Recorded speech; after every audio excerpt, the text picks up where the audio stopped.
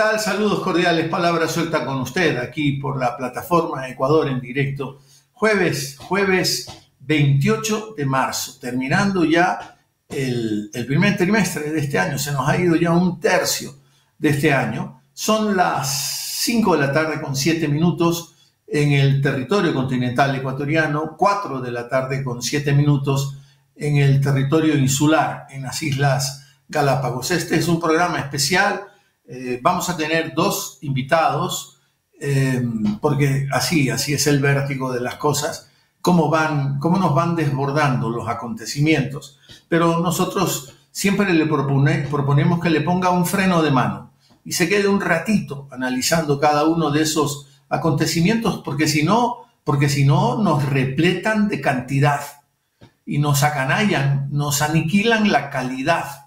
Y por eso es que tomamos decisiones esas decisiones que hemos tomado. El primer invitado nuestro es Aitor Martínez. Aitor ya estuvo en Palabras Sueltas no hace mucho, pero hoy le hemos pedido que nos reciba por lo menos 10, 15 minutos. Lo vamos a molestar, Aitor. Allá son eh, en, una pequeña ciudad al sur de, de Madrid, allá son seis horas más, o sea que son las 11 de la noche con 8 minutos. Aitor se ha desplazado hacia esa ciudad pequeña para pasar ahí las fiestas eh, de la Semana Santa, ¿no?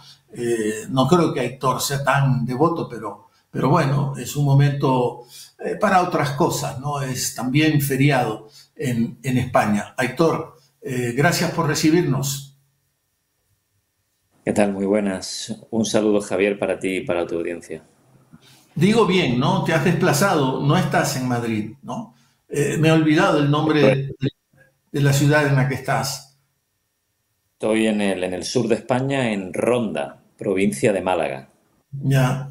Ciudad pequeña, relativamente.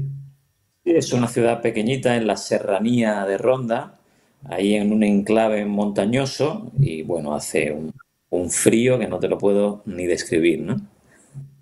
Bueno, o sea que tú eh, que has vivido el invierno, que más bien están tratando de salir del invierno, vas en busca del frío. Hay un, como un comportamiento un poco masoquista, ¿no? Sí, sí, además yo soy costero, es decir, nací en la costa del sur de España, por lo cual soy de climas cálidos y no llevo muy bien el frío, la verdad. Aitor, dado que tenemos poco tiempo, eh, bueno, no, antes, antes. ¿Y cuál es la costumbre de Semana Santa en, ese pueblo?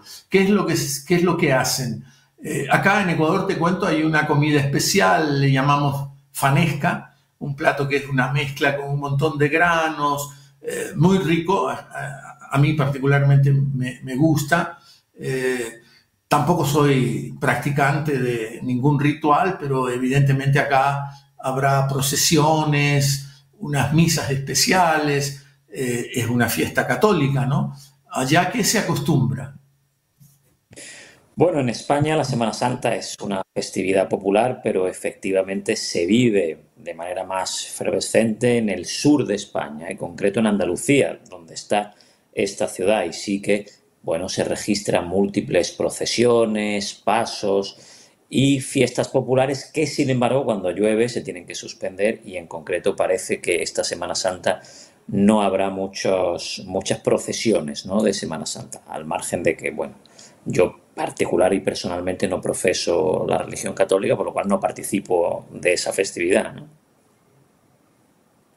Antes de ayer que te llamé, estabas haciendo un road trip, eh, estabas conduciendo tu vehículo hacia esa, hacia esa ciudad eh, y claro, me decías, eh, bueno, tenemos el privilegio de contar con una buena infraestructura en, carreteras en España. Y esa fue una época de Europa, ¿no? Un, salto de calidad, sobre todo en España, en Grecia, en otros países de desarrollo menor relativo, ¿no? Y que el gran motor que impulsó todo eso, sí, claro, fue la Unión Europea, pero, pero la locomotora que jalaba toda esa lógica era la economía alemana, ¿no es cierto?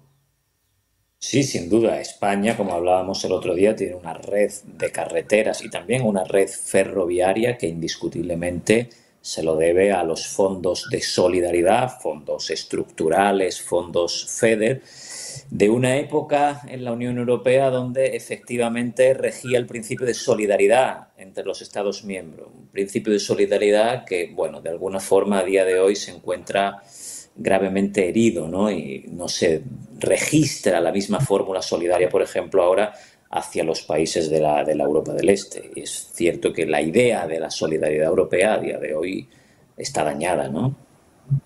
Bueno, pero Alemania también muy dañada eh, su economía, ¿no? A partir, sobre todo, de la crisis con Ucrania, Rusia, Ucrania, ¿no? Eh, ahí le impusieron cosas a Alemania. Perdió el, el suministro de bienes importantísimos desde Rusia y Alemania está en crisis. No, sin duda, la crisis ucraniana ha afectado a la forma de ver la Unión Europea no solo desde el punto de vista económico, sino también desde el punto de vista defensivo. Hay muchos países de la Unión Europea, sobre todo la parte de la Europa del Este, que son claramente atlantistas y que aspiran a ingresar en la OTAN y que solo ven como forma de seguridad a la propia OTAN. Y otros países centroeuropeos que empiezan a ver la necesidad de desligar a la Unión Europea de la OTAN para que tenga una voz propia en seguridad y que los países europeos no tengan que verse inmiscuidas en las operaciones que Estados Unidos desarrolla, utilizando para ello a la OTAN y arrastrando de esta forma a países europeos. Me contabas, eh, y quiero recuperar esa partecita también, lo que dijo Charles de Gaulle eh, allá hace muchos años, ¿no? refiriéndose a Europa, ¿no? ¿Cómo eran las tres definiciones que daba el propio de Gaulle sobre su propia Europa? La frase se la atribuyen a Charles de Gaulle, aunque no es absoluto que fuese él quien la, quien la erigió, pero sí es un aforismo muy común en Europa que es describir a la Unión Europea, a la organización, como un gigante económico, un enano político y una pulga militar. Y es que es indiscutible que la Unión Europea tiene unas capacidades económicas enormes, gestadas en un mercado interior que ha sido muy productivo, pero con una presencia política relativa en el mundo e indiscutiblemente sin presencia militar. Y ese es el gran déficit que tiene a día, a día de hoy la Unión Europea, ¿no? Tener una voz militar en el mundo y no verse arrastrada por la OTAN, que se encuentra indiscutiblemente dominada por los intereses de Estados Unidos, ¿no? Claro, ahí se explica por qué algunos países, como nos lo dijiste, de Europa del Este, hacen todo por, por, ingresar a la OTAN o OTAN, como, como tú dices. Bueno, yo te había pedido estos 10, 15 minutos y ya empecé a desperdiciarlos eh, por el tema Assange, porque claro, nos llegó la noticia de este tribunal eh, británico eh, que posterga la decisión de la extradición o no de Julian Assange.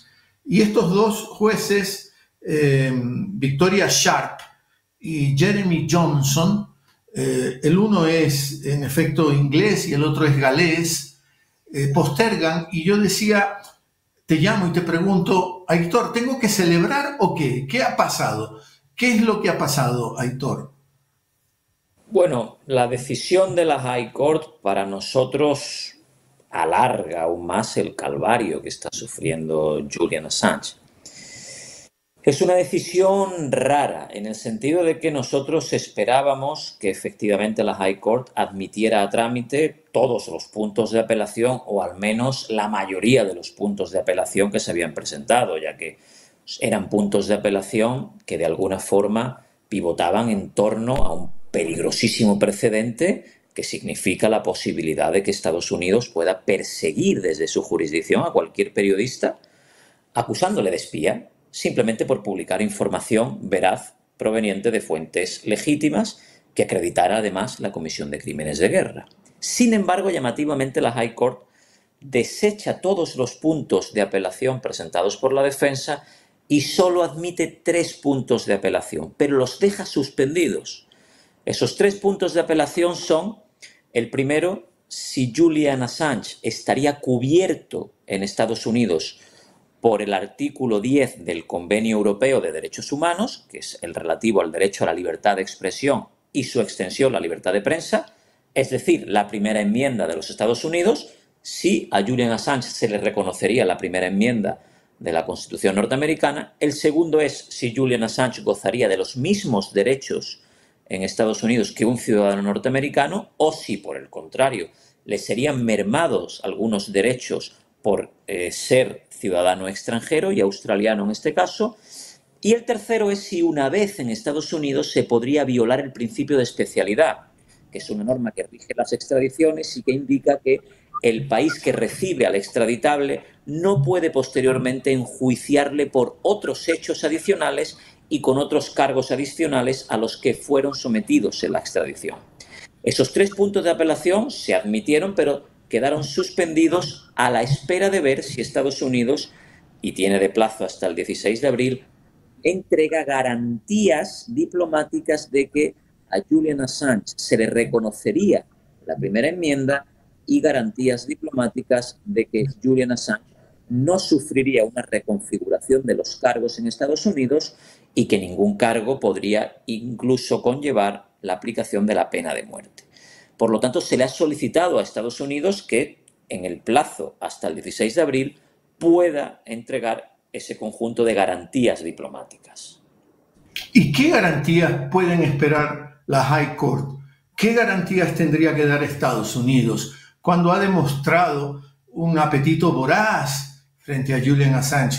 Estos jueces dijeron que eh, los abogados, y tú eres parte del grupo de los abogados de Julian Assange, han hablado de factores políticos. Y estos jueces dicen, sobre todo la jueza Sharp, que no me parece tan aguda, a pesar de su apellido, ella ha dicho, no, no, aquí no hay temas políticos. Aquí solo estas tres razones, por eso eh, postergamos la extradición. Y yo también me decía, oye, si estás hablando de la primera enmienda, libertad de expresión, eso es político. Eso es eminentemente político. ¿Por qué niegas lo otro con el pretexto de que no te metes en terrenos de la política? No me parece muy coherente el pronunciamiento de los jueces. Sin duda, nosotros consideramos que esta extradición no versa sobre garantías. Esta extradición no depende de la emisión de garantías. Esta extradición está centrada en si un país puede perseguir a un periodista por publicar información veraz. Y ese hecho no se cubre con un conjunto de garantías. Es decir, las garantías podrían ser vistas como que eh, Julian Assange elija con qué salsa quiere que le cocinen. Si con la de 175 años de prisión o con la de la pena de muerte. Ese no es el debate. El debate es si un periodista puede ser perseguido por ejercer periodismo.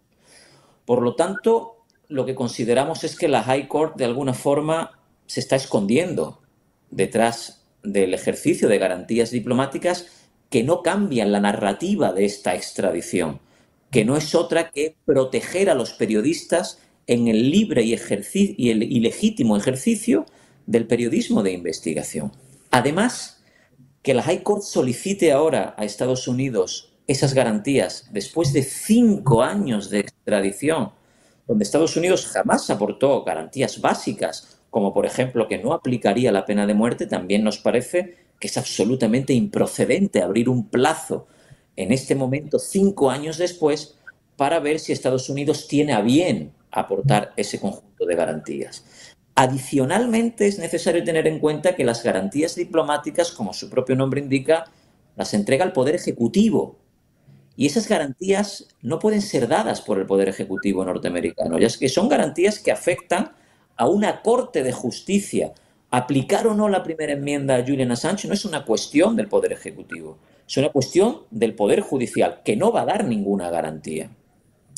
Además, es necesario tener en cuenta que en Estados Unidos hay una jurisprudencia consolidada ya, con múltiples pronunciamientos en los que se ha confirmado que la primera enmienda no rige para los extranjeros, por lo cual difícilmente pueda ahora el Poder Ejecutivo indicar lo contrario a lo que tiene asentado y cementado las Cortes dentro de Estados Unidos.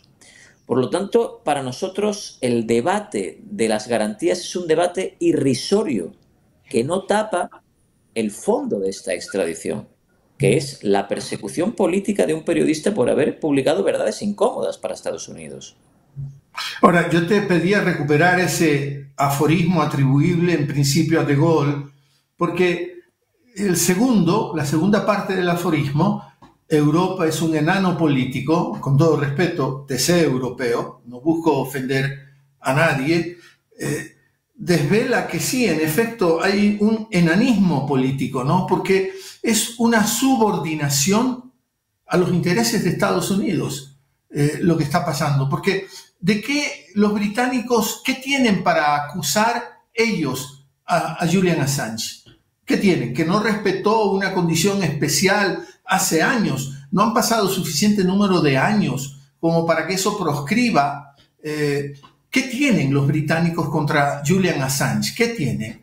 ¿Están solo obedeciendo a los designios de Estados Unidos?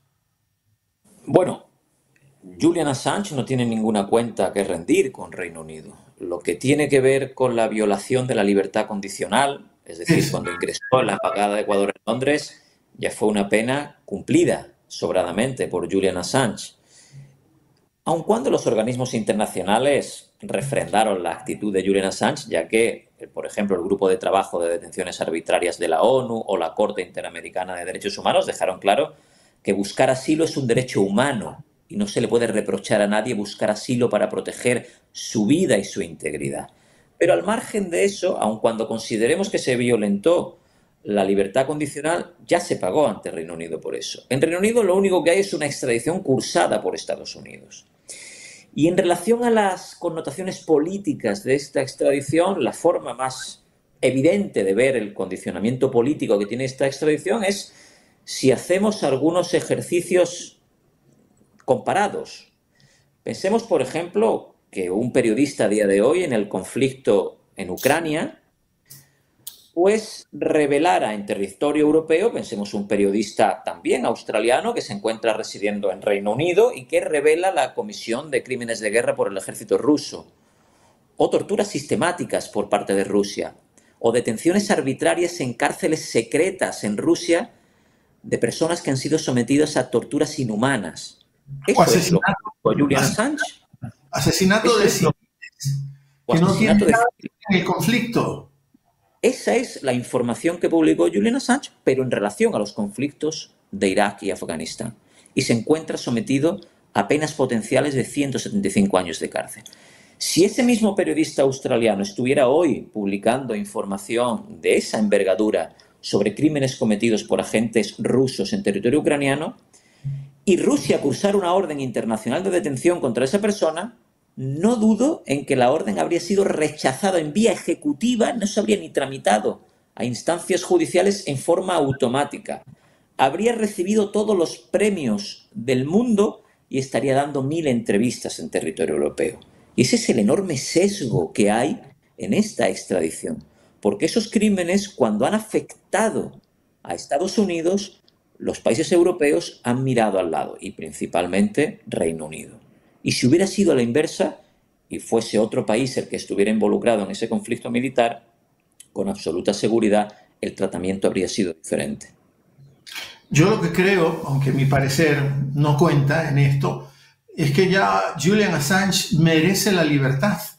Deberían de dejarlo libre a Julian Assange, no retenerlo más. Ya suelten, por favor, a Julian Assange. Eso es lo que siento y probablemente siente mucha gente en este planeta. Julian Assange lleva 14 años privado de libertad en una u otra forma. En un primer momento ingresó en prisión provisional, después tuvo un arresto domiciliario, posteriormente durante muchos años en la Embajada de Ecuador en Londres en condiciones infrahumanas y después de la detención el 11 de abril de 2019, prácticamente cinco años en una prisión de máxima seguridad en un régimen de práctica aislamiento, en una prisión que es conocida popularmente como la Guantánamo británica, es decir, 14 años privado de libertad en condiciones peores que el peor de los regímenes penitenciarios.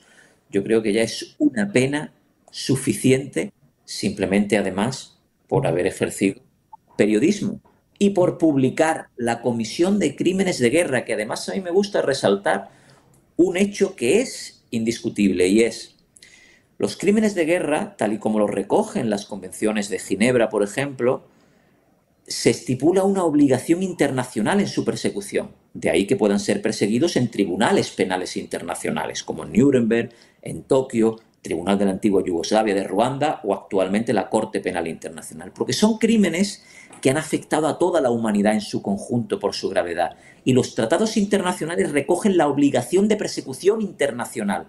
Por lo tanto, no solo es un derecho publicar información veraz, sino que cuando registra crímenes de guerra es una obligación del periodista publicar esos crímenes y fomentar y coadyuvar en la persecución de esos crímenes. Por lo tanto, era una obligación para Wikileaks desde el punto de vista de la legislación internacional arrojar luz sobre esos crímenes que Estados Unidos había escondido detrás del velo de su seguridad nacional. Ahora, ahora te entiendo, te entendemos que es alargar la tensión en el tema eh, de Julian Assange, lo que ha hecho el tribunal, el High Court eh, de, Reino Unido, ¿no? Pero de todas maneras estaremos pendientes, Aitor. Eh, soy ecuatoriano, tú lo sabes, y tengo la vergüenza como ecuatoriano de otro ecuatoriano, cuando era presidente de la República, lo entregó de la manera más miserable, permitió violentar un territorio soberano ecuatoriano porque entraron a la embajada nuestra en Londres, digo, ecuatoriana. Eh, eh, me da vergüenza ese personaje, ¿no? Pero no todos los ecuatorianos somos así. Y te recordaría que Julian Assange, cuando fue arrestado el 11 de abril de 2019, era ciudadano ecuatoriano y de hecho sigue siendo a día de hoy ciudadano ecuatoriano porque lo que decretó, sin registrar precedente alguno, el señor José Valencia cuando era canciller fue la suspensión de su nacionalidad. Y digo que no registra precedente porque un canciller no tiene ninguna atribución para suspender la nacionalidad de nadie. Y a día de hoy todavía no se ha confirmado que Julian Assange haya dejado de ser ecuatoriano. Por lo tanto, lo que se hizo fue entregar a un ciudadano ecuatoriano que indiscutiblemente iba a enfrentar un gravísimo riesgo para su integridad física, como a día de hoy han dictaminado todos los organismos internacionales del mundo. Qué malo que eres, porque yo estaba eh, dando excusas por un ecuatoriano malo, que era el presidente de esa época. Tú me recuerdas otro nombre, ya van dos ecuatorianos malos. El procurador de ese entonces, un tercer ecuatoriano malo. Concurrieron el embajador de Ecuador en Londres de esa época, otro ecuatoriano malo. Así que, bueno, habrá de ellos algún racimo, pero eso no determina que todos seamos así. También estamos indignados y también estamos avergonzados en Ecuador por el tema de Julian Assange.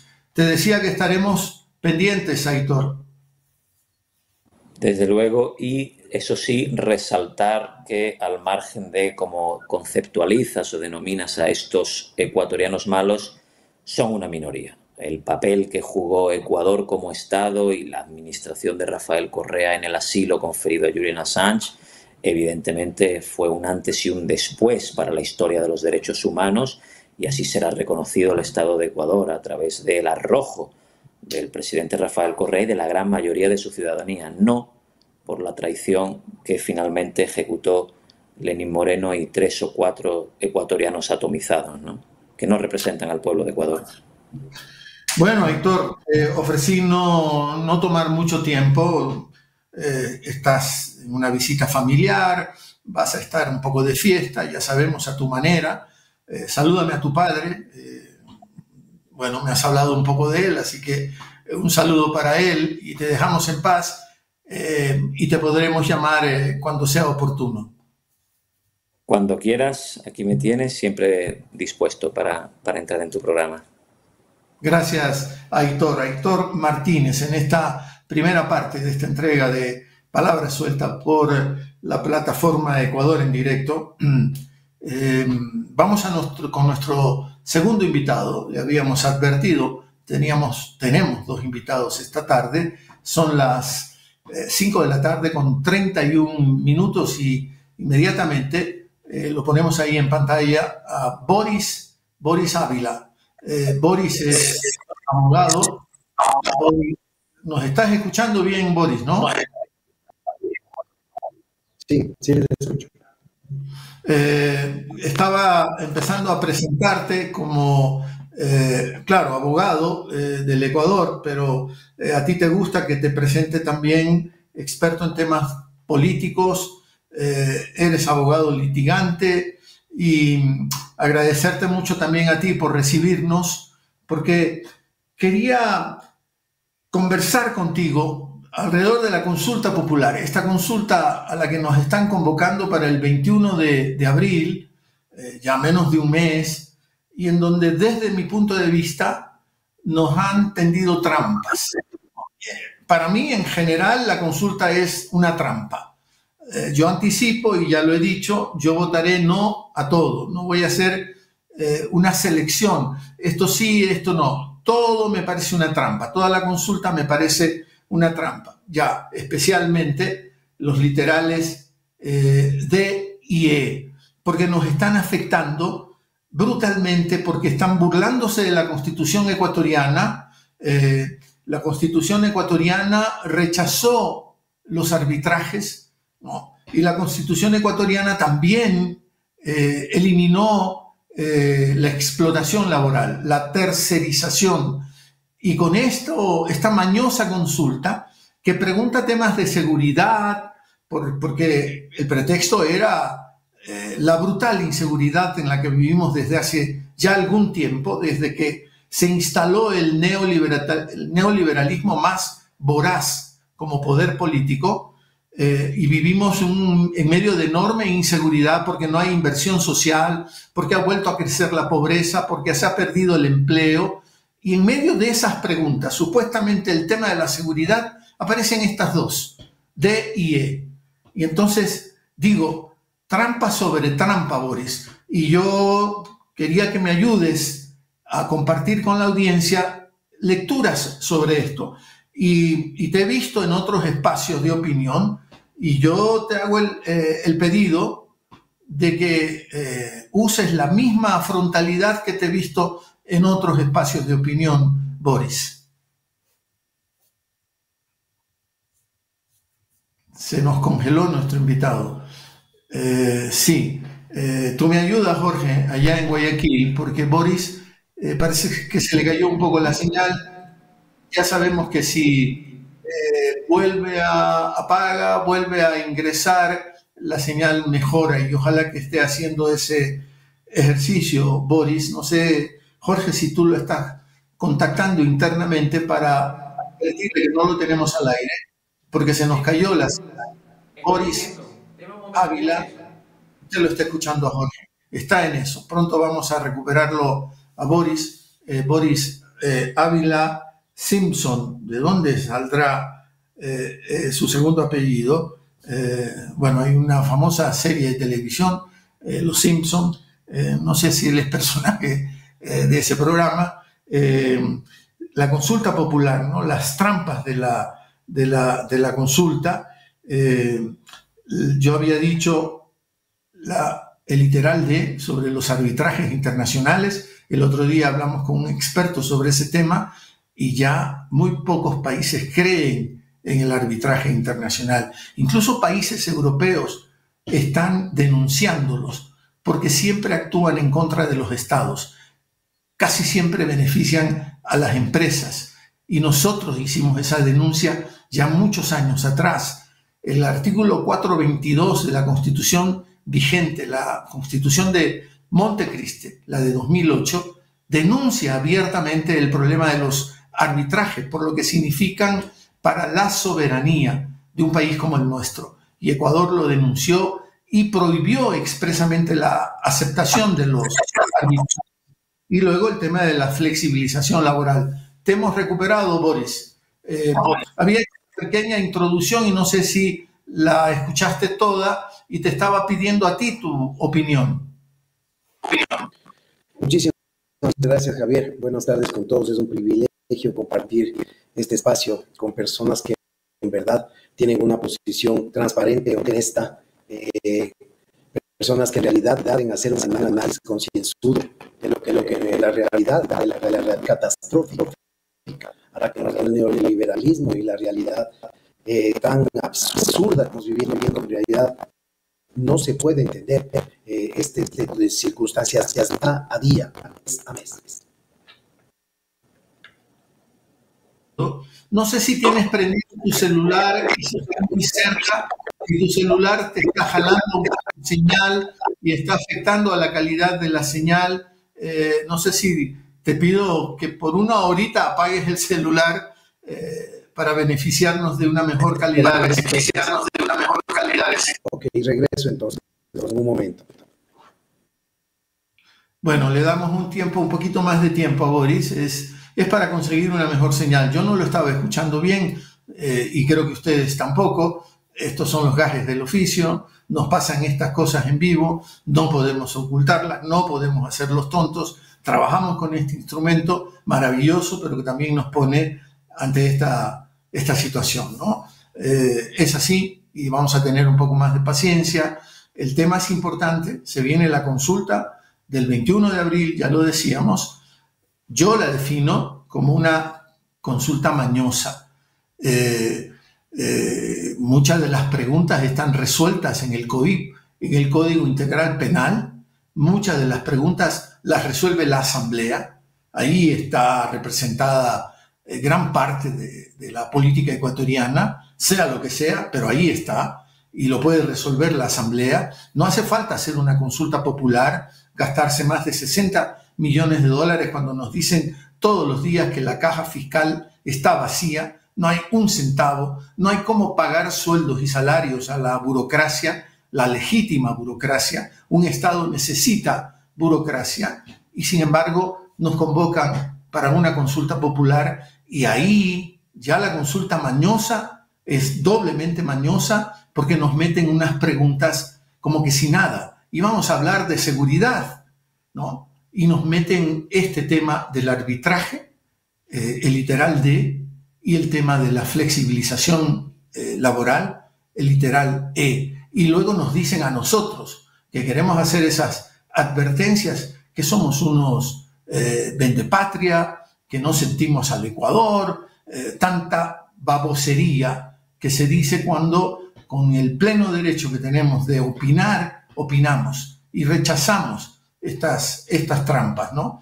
Eh, consulta tramposa para el 21 de abril y nosotros queremos debatir, eh, lo están haciendo otros medios, enhorabuena, no los medios de siempre, ¿no? Los medios digitales, enhorabuena que lo estemos haciendo, porque, porque no tenemos que votar con las emociones, ya lo decíamos con nuestro primer invitado, Aitor Martínez. Tenemos que intentar reflexionar y votar con la razón. Nuevamente, Boris, con nosotros. Ahora sí, espero que eh, la conexión ya, ya se haya resuelto, Boris. Sí, espero que esta, esta vez podamos comunicarnos de mejor manera.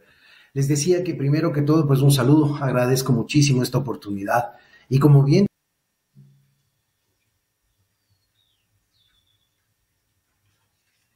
Ay, hay unos enanitos ahí en estos aparatos siempre, unos bichitos que nos hacen estas, estas trampas. Eh. Y es el riesgo ¿no? de estas tecnologías. Dependemos de la calidad de, la conexión. Usted lo sabe, es una conexión digital. Eh, a veces pueden fallar, muchas veces fallan.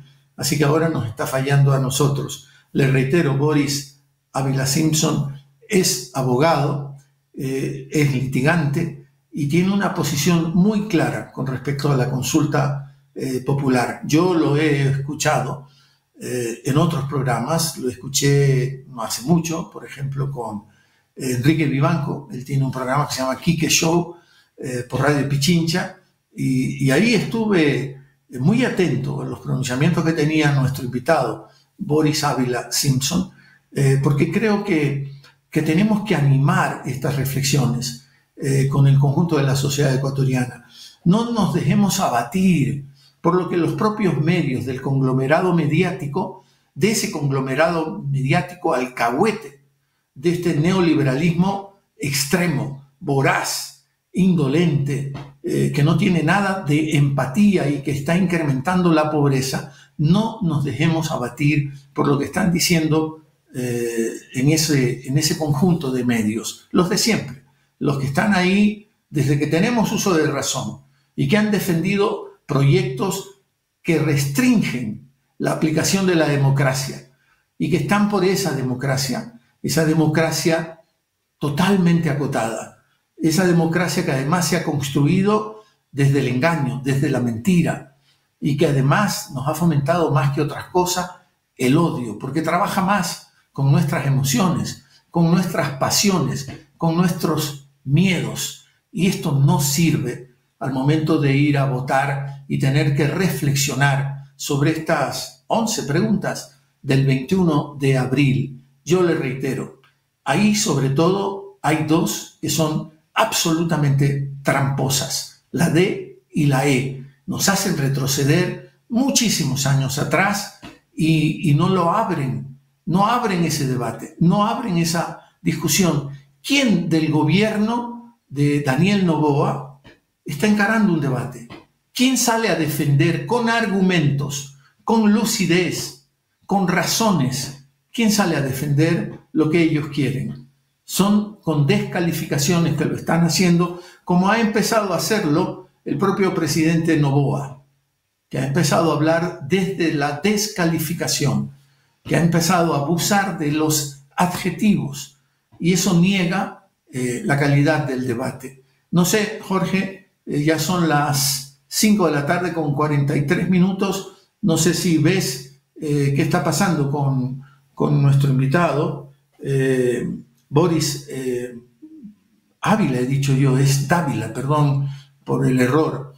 Boris, Boris Dávila, no sé si ya Boris está corrigiendo el tema de su conexión, eh, y si vamos a poder tenerlo, han pasado ya algunos minutos, eh, estamos haciendo un esfuerzo porque la verdad creo que vale la pena escucharlo a Boris. A ver, Boris, aclárame, porque ahí dice Ávila y yo tengo, te tengo registrado como Dávila.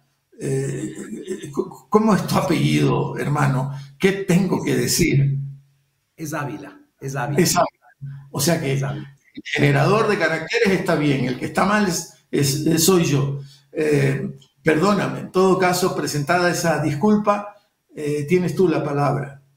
No hay ningún cuidado, Javier. Bueno, continuando con el tema, esperando que, los equipos funcionen bien, eh, lo que tú dices es completamente cierto.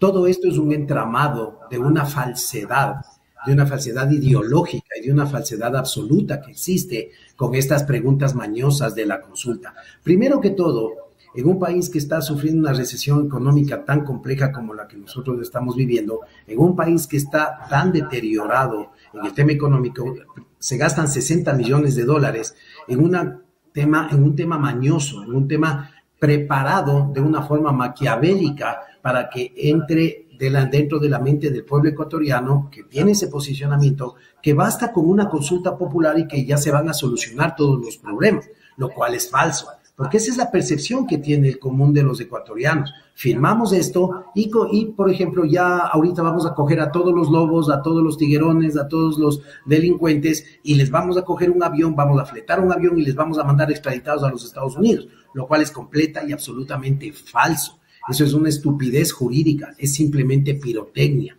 Para que exista el tema de la extradición, el, el delincuente tiene que haber cometido delitos en el país en donde se estaría pidiendo la extradición y ese no es el caso de la gran mayoría de los, de los, eh, de los delincuentes que están detenidos y de los grandes cabecillas. Primero. Segundo, pero ¿qué es lo que más les interesa? Porque al final de cuentas, si es que existe extradición, eso no le afecta al normal de los ecuatorianos. Si un delincuente tiene que irse extraditado por delitos cometidos en otro país, no tenemos por qué defender eso si es un tema de soberanía, si es un tema que y estaría eh, desnudando una, un poco proceder de la, de la justicia ecuatoriana. Eso significa que estaríamos diciendo que nosotros no podemos manejar a nuestras propias leyes y no podemos tener el control y que necesitamos de los papitos yanquis para que nos den haciendo nuestro trabajo. Segundo, para hablar de algo muy importante, que es lo que les interesa, qué es lo que siempre le ha estorbado al grupo empresarial ecuatoriano, que es lo que siempre le ha, sido una piedra en el zapato, los derechos laborales, los derechos adquiridos por la izquierda, porque quien adquirió la semana de 40 horas, quien consiguió la semana de 40 horas, no fueron los empresarios. Quien consiguió que se den vacaciones, no fueron los empresarios. Quien consiguió el décimo cuarto, el décimo quinto, no fueron los empresarios. Esto han sido luchas sociales, luchas sociales en las calles, que han costado sangre, que han costado vidas, que han costado años, que han costado mucho dolor. ¿Quién ha sido la contraparte? Los empresarios, que siempre han tenido una mentalidad de exprimir a donde más pueden para ganar más, para enriquecer ellos. No ha sido para que los trabajadores tengan mejores condiciones, no ha sido para que los trabajadores tengan una vida digna, no, ha sido simplemente para que los trabajadores, en una, en una manera de esclavitud moderna, ganen lo suficiente para ir a su casa, comer, bañarse y regresar nuevamente al otro día a seguir en esta, en esta cadena maquiavélica, enriqueciendo a un pequeño grupo. No conocemos trabajadores que se hayan enriquecido, trabajado ocho horas al día, nada. Lo único que logran es subsistir.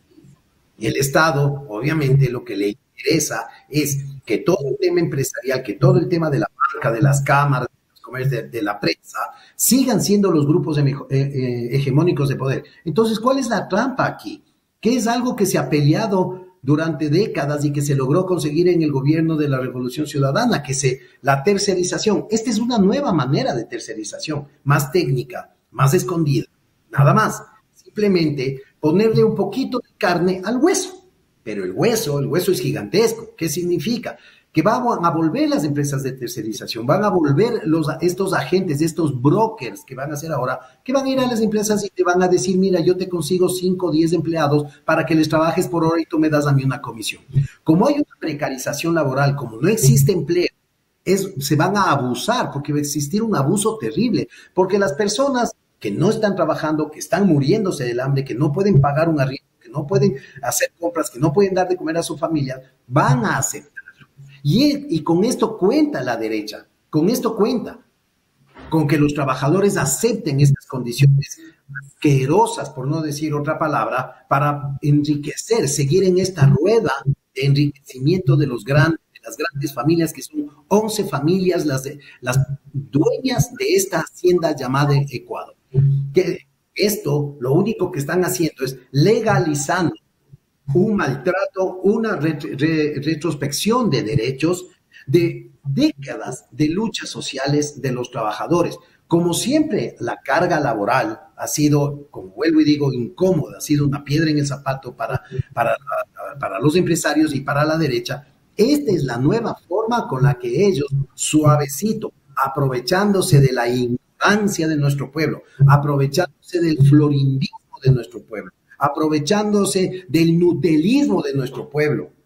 Lo van a hacer, lo van a lograr. Entonces, a mí me da muchísima pena porque nosotros como profesionales, nosotros tenemos cómo defendernos. Nosotros tenemos una postura frente a la vida, venimos del privilegio y podemos tener una herramienta con la cual poder defendernos. Pero esto es un porcentaje. Un porcentaje menor de la sociedad ecuatoriana. Eh, está Boris eh, Ávila eh, con nosotros hablando sobre estos literales de IE de la consulta popular del 21 de abril. Eh, lo he escuchado Andrés Arauz poner énfasis, sí, en el DIE y decir, bueno, en el resto puede votar, como a usted le parezca. No, no, no, tengo una profunda discrepancia con Andrés Arauz ahí en ese punto, porque no, no hay que ser cómplice de una tomadura de pelo en general no es que solo votemos no en los literales de IE, votemos no a todo, porque no se merece el más mínimo respaldo una propuesta política que le trampea a la gente, que le oculta la verdad a la gente. Porque mire usted lo que pasa estos días. ¿Dónde está el famoso plan Fénix? El exitoso plan Fénix, con una ministra del Interior, Palencia, que nos ha hablado del el enorme éxito por la reducción de los crímenes. Y estamos asistiendo otra vez a levantamientos en las cárceles. No, nos dicen hoy que no es bronca entre las bandas, que ahora es una protesta por la presencia de los militares. Por lo menos eso decía hoy el diario El Universo, parte del conglomerado, ese conglomerado mediático que nos ha trampeado también mucho, que nos ha mentido mucho y que forman parte del coro que aupa todas estas, estas mentiras y todas estas trampas. Eh, la ministra entonces nos ha venido hablando del éxito del plan Fénix.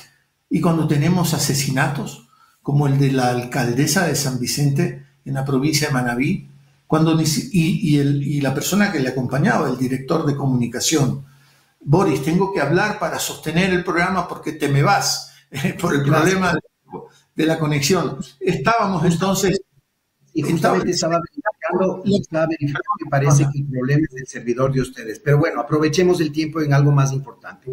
A lo que yo me refería es que esta regresión, y lo más importante, porque esto ya todos lo sabemos, o sea, esto no es algo, no estamos descubriendo el agua tibia. El grave problema, lo que yo veo, lo que yo deduzco, lo que yo leo, lo que me da mucha pena, lo que me trae a mí con la mente completamente confundida, es que el mismo ecuatoriano que va a ser perjudicado por, esta, por estas leyes. El mismo trabajador, el mismo obrero, la persona que el mismo Estado se encargó de no educarle para que alimente esta fuerza bruta de trabajo, para que sus hijos también sigan siendo obreros, porque es lo que le interesa a la derecha, crear más obreros, nada más para poder abaratar los costos laborales. El mismo trabajador que, que es un profesor, que es un obrero, que es un mecánico, que es etcétera, etcétera, es el que va, es el que está apoyando esto. Es el que va y vota por su patrón. Es el que va y vota por quien le está pateando en el suelo. Entonces, esto no tiene explicación. Esto no, no, recurre a una lógica. Esto es un problema que tenemos de una idiosincrasia, eh, pero de que viene desde la época de la colonia. Esto no es nuevo. No es nuevo. Yo les recuerdo a ustedes, leamos el segundo. Sí. Pero perdóname la interrupción, pero en Estados Unidos pasa algo similar.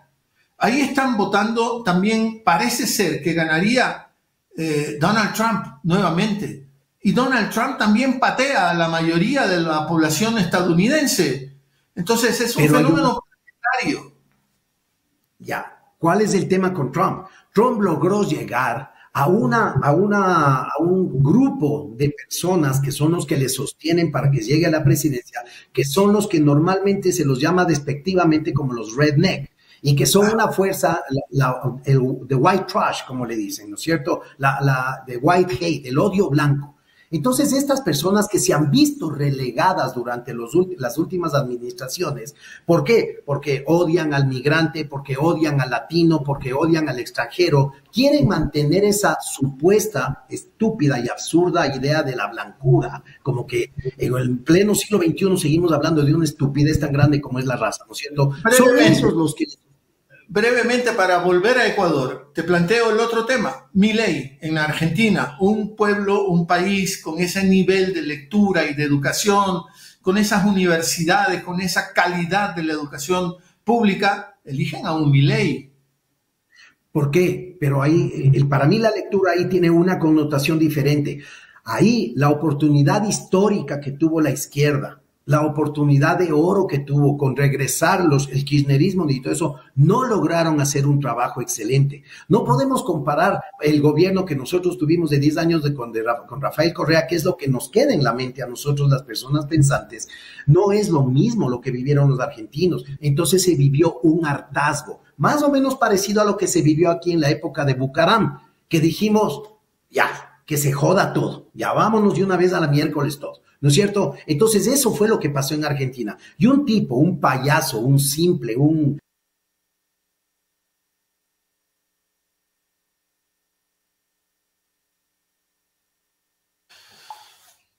A ver, eh, Jorge, eh, nuestro invitado eh, Boris Ávila, no sé si te diste cuenta, pero él dijo, no es mi problema, yo tengo una muy buena conexión, parece que es el servidor de ustedes o sea, el de Ecuador en directo. Eh, no sé, no sé, Jorge, si estás ahí constatando si pasa algo con nuestro servidor, qué tal está la señal ahí en nuestro servidor, tenemos problemas. La señal no tiene ningún problema, solamente que no entiendo qué le pasa al doctor Ávila con la señal, se cae. Ok, ok, ok. Es una lástima, ¿no? Porque se está interrumpiendo, interrumpiendo mucho esta conversación. espero que que Boris eh, eh, nos acepte las que voy a presentar inmediatamente. Eh, son las 6, no, 5 de la tarde con 56 minutos. Tengo aquí en la esquina el relojito, en la misma pantalla del computador. y creo que le vamos a agradecer profundamente a Boris. Lo llamaremos después, fuera de, esta conexión, a, Boris para fijar un nuevo día, para asegurarnos que tenemos mejor conexión. ¿Por qué? ¿Por qué? Porque es difícil seguir así la conversación. Así que si nos estás escuchando, Boris, te ofrezco mil disculpas, pero me veo forzado a eh, hacer un cambio vamos a ir a Estados Unidos, Jorge, ¿no? Sí, en un momento, ya contacto eso. Sí, tenemos una conexión a Estados Unidos también, así que sería un tercer invitado. Esto es eh, una cosa que ha surgido en este momento, porque allá en Estados Unidos, atendiendo una eh, importante eh, invitación de, esa, de, esa, de ese universo, de esa población, de esa quinta región ecuatoriana, que son los migrantes, atendiendo una invitación de ellos, los migrantes de New York y los distintos municipios que hay en, Nueva York, porque en Nueva York no es solo Manhattan, eh, allá está Jaime de la Cruz, que es el director de Ecuador en directo, está trabajando ya más de una semana, usted lo está viendo en los especialistas, participando en las entrevistas en el noticiero de los especialistas todos los días. Eh, Jaime está participando desde Nueva York, como lo está haciendo también Carla Aro. Y a mí me suscita un poco de envidia, ¿no? Esa, esa lindísima experiencia que está viviendo Jaime y Carla, que están viviendo eh, en esa relación con los migrantes, esos encuentros con los migrantes. ¿Lo tienes, Jorge? Tengo al doctor, no sé si para que ya se disculpe por el tema, porque si vamos a seguir así, para que se disculpe con el doctor Ávila en este momento. A ver, Boris, te hemos puesto otra vez en la pantalla. Yo te había, había dicho a la audiencia, había empezado a ofrecerte disculpas, eh, Boris, porque se nos está cayendo mucho la, la comunicación. Mi compañero de Guayaquil, Jorge Aycar, que maneja eh, la parte técnica de este encuentro, me dice que nuestro servidor está trabajando muy bien. Que no, entiendo qué está pasando, le digo sinceramente. Ahí lo estás escuchando a Jorge y la audiencia también lo está escuchando. No sabe qué está pasando, no es un problema de nuestro servidor, pero no se trata de echarnos la culpa entre nosotros. Yo te propongo, Boris, me comprometo, eh, porque me interesa mucho tu pronunciamiento. Eh, recién hemos hablado de la tercerización nuevamente, que tiene ese otro problema. Pierdes ¿Quién es tu patrón cuando estás tercerizado? ¿A quién diablos le reclamas cuando se te violan tus derechos? Cuando no se cumplen los deberes del patrón. Desaparece el patrón. Esta es otra trampa del capitalismo actual. A ver si, si tenemos suerte y, y podemos escucharte un rato más, Boris. Por supuesto que sí. A ver, en el ejercicio profesional, en el tema laboral, durante, yo llevo ya como abogado 27 años, si ustedes supieran lo difícil que es ya defender a un trabajador, porque supuestamente la ley es pro reo, pro trabajador, pro inquilino, eso en la práctica no es real, porque el trabajador no tiene para pagar un abogado. El trabajador no tiene para pagar un estudio jurídico grande.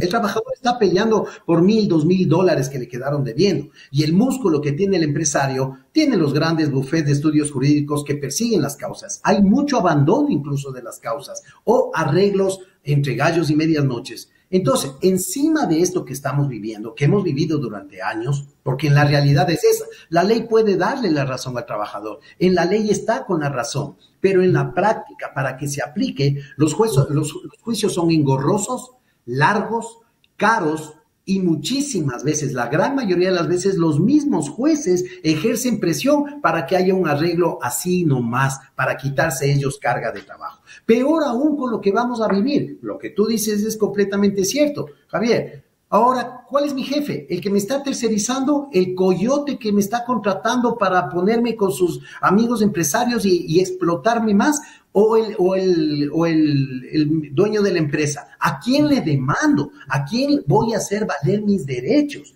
¿Cómo va a ser esto? ¿Qué es lo que sucede? Aquí se va a hacer, a empobrecer más esta masa laboral que existe. ¿Qué, ¿Y cuál es el efecto inmediato y qué es lo que están buscando?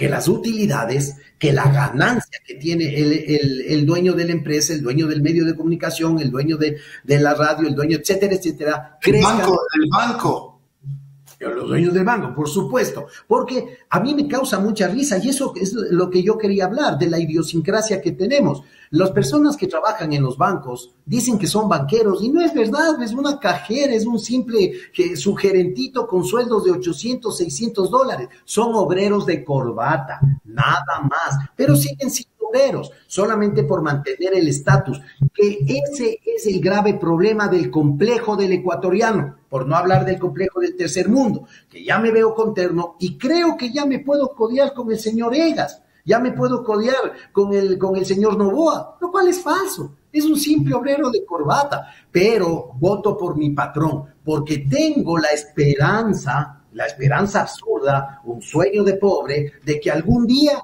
yo llegaré a ser así con un sueldito miserable de mil, de mil doscientos dólares, de quinientos, de seiscientos dólares. Pero eso lo eso, eso lo ha armado el capitalismo actual.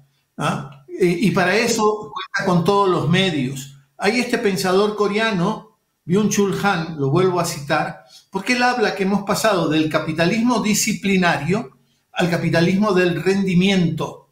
Y en el capitalismo del rendimiento también se te borra la figura de tu patrón. En el capitalismo disciplinario tenías a esa persona que te decía, tú entras a las ocho y media y sales a las cuatro y media, marcas el reloj y yo te hago cumplir a rajatabla ese, ese horario. Acá no. En el del rendimiento trabajas desde tu casa y se te paga según lo que rindes. Lo que produzcas. claro, y si tienes que trabajar sábado, domingo, feriado, quedarte hasta las 3 de la mañana, lo haces en homenaje al capitalismo del rendimiento. Y entonces es la sociedad del cansancio la que estamos viviendo. ¿En homenaje a qué? En homenaje a esta máxima que para mí me parece eh, criminal que tenemos de póngase la camiseta. Póngase la camiseta. O sea, póngase la camiseta, pero es la camiseta del patrón, pues, para que la piscina que tiene en su mansión en Miami crezca un poco más, pues para que las plantas que tenía las cambie cada seis meses, mientras yo a duras penas llego a fin de mes. Eso no es esclavitud moderna, Javier. Eso no es esto lo que el capitalismo ha venido trabajando durante décadas. Pero ¿cuál es el, grave? Lo que más me, me, distorsiona a mí con lo que yo peleo todos los días y con lo que yo leo y vivo las redes sociales con mis videos, las peores respuestas, los peores insultos que yo recibo, no es del señor Michel Deller, no es del señor Sebastián Pons, no es del señor eh, Egas, es de los mismos obreros, es de los mismos que están aplastados, de los mismos que están humillados, de los mismos que están explotados ellos son los que peores insultos me dan. ¿Por qué? Porque tienen esta mentalidad que viene una, una mentalidad de esclavo, una mentalidad, como dice el dicho, ¿no? El que nace Paraguay, hasta la yunta lame. Qué triste, qué triste hay que, vive. Hay que hacer un esfuerzo para meternos en la razón y dejar la pasión, ¿no?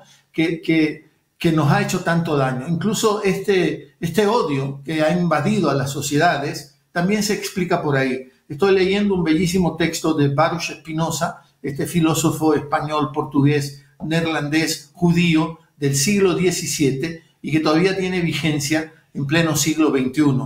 Quiero plantearte, antes de que se nos dañe la, la comunicación, el tema de los arbitrajes, porque ahí también la constitución ecuatoriana es nítida 422, el artículo 422 de la Constitución vigente prohíbe y rechaza los arbitrajes por la afectación a la soberanía que un arbitraje significa. ¿Tú qué dices, Boris? Esto, desde el punto de vista jurídico, es criminal. Y esto sí lo tengo que denunciar y esto es algo que yo en las redes sociales estoy hablándolo todos los días. El problema es que es muy técnico. El problema es que el ciudadano de a pie, el, trabajador que trabaja en una panadería, el mecánico que trabaja en una mecánica, no lo entiende, no le importa, no le interesa. ¿No es cierto? ¿Por qué? Porque no entiende unos temas de derecho, no entiende unos temas trascendentales como son esto. ¿Qué significa? Que estaríamos abriendo una nueva instancia una nueva instancia internacional para que nos dé juzgando y nos dé cambiando, porque esa es la intención, nos dé cambiando los fallos arbitrales, que, los fallos jurídicos que tenemos aquí en el país. Los fallos arbitrales, por, por, encuesta y por todos, eh, cuando salen los, los, los problemas y se, se los trata internacionalmente, cuéntame tú cuántas veces gana el país ¿Y cuántas veces es sancionado el país en los famosos arbitrajes internacionales? Tenemos el caso de Chevron, que es el más emblemático. Entonces se está creando un, un puente, un pasadizo legal, legal, inmoral, por supuesto. Eh, no, no creo que tenga yo el menor asidero jurídico un pasadizo, un puente con el cual están permitiendo la destrucción más grande, ya a gran escala, ya a gran escala, porque esos fallos no son de 30 dólares, esos fallos no, son de mil dólares, esos fallos son de cientos de millones de dólares, que de qué bolsillo salen? ¿Sale de la banca? No. ¿Sale de la prensa? No. ¿Sale de las cámaras? No. Sale de nuestros impuestos, que ahora suben con el mismo postulado, pongámonos la camiseta. Subamos el IVA al 15, pongámonos la camiseta, ¿no es cierto? Pero como siempre el hilo se rompe por lo más delgado, los pendejos, que somos el, el 90% de la población ecuatoriana, somos los que acabamos pagando estas circunstancias. Cuando vamos a poner gasolina, lo sentimos. Cuando vamos ya no podemos comprar 10 panes, sino solo 7, lo sentimos. Cuando ya no podemos comer jamón de pierna, si no nos toca comer jamón de espalda nomás, lo sentimos. Pero ahí esto sucede en todos los lugares del mundo, en todos los lugares, en todo lo que es capitalismo, en todo lo que es. Pero ¿cuál es la vergüenza, Javier, para mí? Que aplaudimos. Bravo. No nos preocupemos. ¿Por qué nos vamos a preocupar? Yo estoy, yo creo que estoy hablando tonteras. ¿Por qué? Ya salió la Barbie de la, de, la esposa del presidente de Val, Labonesi, no, no me acuerdo el apellido, ya salió la Barbie. Entonces, ¿por qué tenemos que preocuparnos si ya tenemos una Barbie? Esa es la mentalidad obtusa, absurda, pequeña, que no tiene solución. Esto no tiene un viso de solución, porque ya tuvimos 10 años más allá de un buen gobierno, más allá de la inversión en obra pública, más allá de todas estas cosas, de cambio de mentalidad de autoestima como ecuatoriano, de hacernos valer como país, como patria, como nación, como conglomerado, de aceptar nuestro mensaje. Boris, aparte de la Barbie, el otro grave problema es que tenemos funcionarios del Estado ecuatoriano que se supone tienen que defendernos, como el procurador, estoy hablando del procurador anterior, que rápidamente salió a reconocer que teníamos que pagarle miles de millones de dólares a la Chevron Texaco que se pronunció en favor de la Porque a él le toca un pedazo del pastel, pues porque esto no es de gratis. Esto no, no, no seamos tan ingenuos de pensar de que lo hace amparado en el derecho, porque por último, yo te digo como abogado, hay fallos que yo no estoy convencido, pero están amparados en el derecho. Son fallos ilegítimos, de acuerdo, pero son legales, lastimosamente. La legitimidad con la legalidad sí tienen una diferencia. Pero tú crees que no existe ahí un pedazo de pastel, Javier. Tú crees que no existe ahí eh, estas grandes compañías de lobbying que son delincuenciales a nivel mundial, que son los que proponen a los grandes funcionarios cuánto van a ganar por un fallo y lo hacemos. Pero ese es el problema de siempre, ¿no es cierto? Pero el peor problema es que la base, el electorado, el pueblo, la gente de la calle es la que está poniendo y repitiendo estos presidentes. Y te garantizo, Javier, yo te apuesto un ceviche donde tú quieras, que la próxima elección, si no gana Novoa, la gana Tópico, la gana alguien de derecha porque ese es el pensamiento absurdo, estúpido, esclavista que tenemos metido acá. Leamos Tahuantinsuyo, leamos Huasipungo, leamos Huasipungo de Jorge Casa. La denuncia que este, el libro tiene décadas escrito, que nos hicieron leer en la primaria sin entender, pero si lo volvemos a leer ahora, estamos viendo la misma realidad que estamos viviendo, el complejo racial, el complejo clasista que está tan vinculado a nosotros. O, podemos leer del mismo Jorge Casa el Chuya de Romero y Flores. Exactamente, así es, así es, el Chuya Romero y Flores. El, Chuya Romero y Flores, exactamente, el florindismo tal cual. Yo siempre hablo del florindismo, ¿por qué? Este es un libro, El síndrome de Doña Florinda, tú debes haberlo leído, escrito por Rafael Ton, ¿Cuál era el personaje más odiado de la vecindad del Chavo? Mira que ya vamos a la tercera generación de que hemos visto el Chavo del Ocho, ¿no? Doña Florinda. Siendo que era la misma cosa ahí mismo, en el misma vecindad, la misma pendejada era, ¿no es cierto? Pero se creía porque recibía ya un poquito más de plata, ya chusmeaba a todos, ya le insultaba al obrero, ya le chusmeaba al chavo, todo, y se creía de mejor familia. Eso es tan arraigado, tan doloroso, y tan metido en nuestra sociedad. Yo lo vivo día a día con mis amigos. Yo tengo un nivel de amigos porque, como vuelvo y repito, vengo del privilegio. Pero muchos de ellos, yo mismo les estoy defendiendo y yo mismo conozco sus realidades. Pero la, la percepción que quieren lograr es de que son de la high, de que son de la élite, para poder verle al resto por encima del hombro.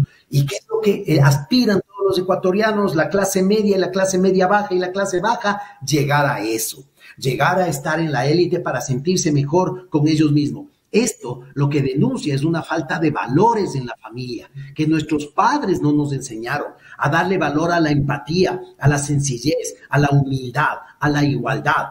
Porque desde chiquitos, ¿qué, te, ¿qué he oído yo que les dicen? No te lleves con ese porque es longo, no te lleves con ese porque es negro, no te lleves con ese porque es vive en el sur. Y nosotros hemos crecido con esa deformación y la estamos aplicando subconscientemente en el voto. Porque en el voto no estamos, estamos diciendo, a ver, yo soy pobre, me, me explotan, no gano nada, pero quiero llegar a ser así. Quiero eh, como es tener mi fiesta de, como la fiesta que tuvo cuando se posesionó, que la gente llegaba en helicóptero. Esos valores monetarios y materialistas son los que están sembrados en nuestra sociedad. Es que, ¿cuál, es, cuál, ¿cuál es el éxito mayor? El dinero. ¿no? Y no importa cómo lo obtienes, no importa si es de manera tramposa, no, no importa si es estafando al Estado, no, no importa si es vendiéndote a los intereses extranjeros, a los, no, no extranjeros así nomás, a los intereses de potencias, ¿no? Que, que, claro, nos están, nos están dominando. Acabo de leer eh, una, una, reflexión sobre mi ley en la Argentina, ¿no? Este pensador dice, no es que estamos ante un tipo lleno de exabruptos, porque mira lo que acaba de hacer con Petro, el presidente de Colombia, ¿no? Milei, ¿no? ya le sacó Petro, ya le retiró la, la sí, presencia. Sí, ya, ya retiraron a, los embajadores, ya expulsó a la, a la, misión diplomática de Argentina, pero es una ruptura de relaciones entre dos países de América Latina, ¿no? Es terrible.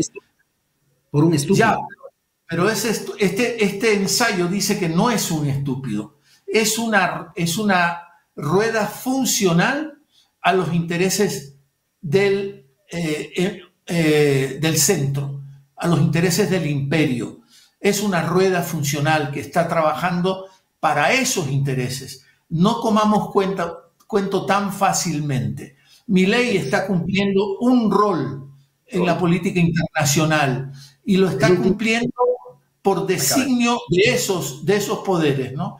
Terribles poderes. Esos son los poderes que nosotros hemos mantenido eh, como los dueños de, de América Latina porque dime si es verdad o no que somos terriblemente americanizados. Consumimos todo lo que es gringo, nos vestimos con todo lo que es gringo, vemos las series que son gringas, tenemos la misma mentalidad. Es más, hemos importado los, los peores vicios de los gringos, como son el bullying, como son el materialismo, etcétera, etcétera. Y la meta de aquí no es ir a conocer Egipto, no es ir a conocer eh, México, las pirámides, no es ir a conocer, eh, como es en Perú, cosas maravillosas. No, todo el mundo quiere ir a Miami. ¿Me entiendes? Todo mundo quiere ir a Miami y todo mundo quiere montarse en un Ferrari y todo mundo quiere farrear en, el Doral de Miami, ¿no es cierto? Esa es la mentalidad. Eso es lo que yo denuncio. Porque denunciar las otras cosas ya las conocemos. Los desarrollos y la, delincuencia política es algo enraizado lastimosamente. Y con, con una cosa que es más grave. La gente se hace como la que se asombra, uy, que son corruptos, que los políticos, pero lo que en el fondo les duele es no estar ahí metidos y ganar ellos. Hay un dicho que dice, la argolla no es malo, lo malo es no estar en la argolla. Entonces, todos los critican ya quisieran estar, por eso buscan tanto un cargo público, por eso invierten tanto en meterse en la política, por eso invierten, porque saben que es entrar ahí en el arca abierta el justo peca, y, lo que, y la, la idea, la aspiración, la aspiración que está metida en la mente podrida que, que hemos heredado de, de, nuestros padres, de nuestros ancestros, de, de que nuestros padres nos han enseñado a ser corruptos. Me refiero a esta mentalidad, es de que el que el vivo es el que roba y el que no se deja comer.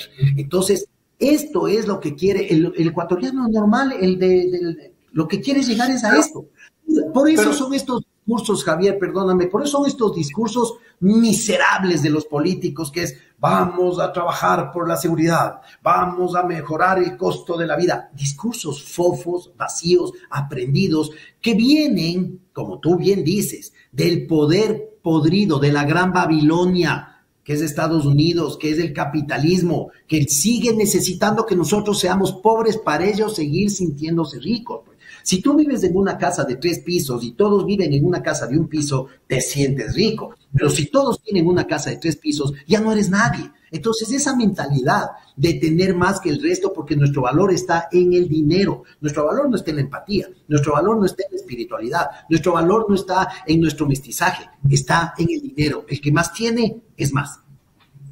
Eh, Boris, ¿cómo vas a votar tú el 21 de abril? ¿Vas a seleccionar? Voy a votar todo, no por supuesto. Ah. Y yo les digo algo, o sea, por ejemplo, las preguntas estas de la extradición y todo, jurídicamente, esto ya viene desde hace algún tiempo, pues con esta pendejada, con este sonete de la extradición vienen con algún tiempo, porque hacen preguntas como, por ejemplo, ¿está de acuerdo usted que, que le mate a mi abuelita, se vaya preso? Todo el mundo va a decir que sí, pues, ¿no es cierto?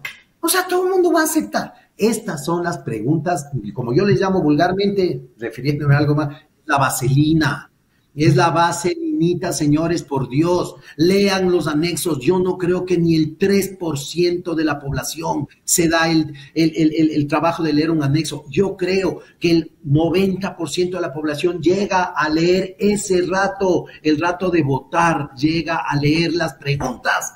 Entonces, ¿cómo podemos nosotros, con estas personas, con este enjambre que tenemos de, de, de, de florindos, ¿Cómo podemos esperar un país mejor? Si a la persona que construyó las carreteras le persigue y dice que no se necesitaban carreteras, ¿no? O sea, que quiere...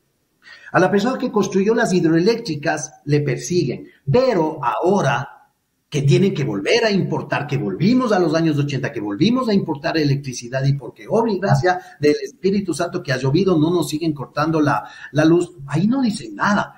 Pero, pero ¿cuál es la, narrativa de la prensa? ¿Cuál es la narrativa de la derecha? Es que hubo sobreprecios, es que se robaron. Y eso ha calado tanto adentro de la gente que no ven la obra, sino ven la narrativa y la retórica de la prensa corrupta, que es el brazo armado, es el brazo armado ideológico de la derecha. Para mí, yo te voy a contar algo. ¿Sabes cuándo le empecé a creer yo a Rafael Correa? Cuando empezó a darse con la prensa cuando se fajó con la prensa, cuando no les tuvo miedo, cuando le sacó de... Otra vez se nos va Boris. Em, em, bueno, ahora sí, Jorge, ¿tú tienes la conexión con Estados Unidos o no? Estoy en, ya, voy a hacer que se conecte. Eh, pero te dijeron que se van a conectar o no? Sí, ya me dijeron que sí. Voy a enviarle ya.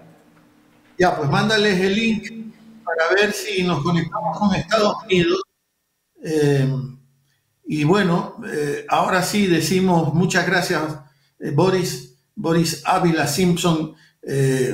prometo recuperarlo en otro momento, como le decía, garantizándonos un poquito más de que las conexiones van a estar de mejor calidad y no sufrir estas interrupciones involuntarias que hemos tenido. Por supuesto, no hacemos televisión a la usanza eh, anterior, un, equipo de microondas, un equipo informativo eh, apostado en distintos sitios. Yo recuerdo en mi época de la televisión de señal abierta, había que tener en Quito 8, 10, 12 equipos eh, periodísticos, cada uno integrado por tres personas la cámara, el ayudante del camarógrafo y por supuesto el reportero, la reportera. En Quito 10, en Guayaquil 8, en Cuenca 3.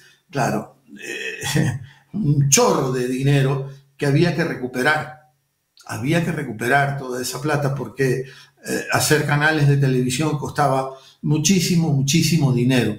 Nosotros lo hacemos con estos recursos. Eh, no es que le estoy pidiendo eh, compasión y alcahuetería. Podemos hacer mejor las cosas y no tener estos problemas como el que hemos tenido hoy día con estas interrupciones que se nos escapan de las manos, pero que a nosotros nos permite hacer este tipo de programas sin hipotecarnos ni materialmente y menos aún moralmente. No tenemos por qué hipotecarnos porque no le estamos debiendo nada a nadie y no lo decimos arrogantemente. Esta es la realidad y por eso estamos aquí haciendo este esfuerzo de comunicación.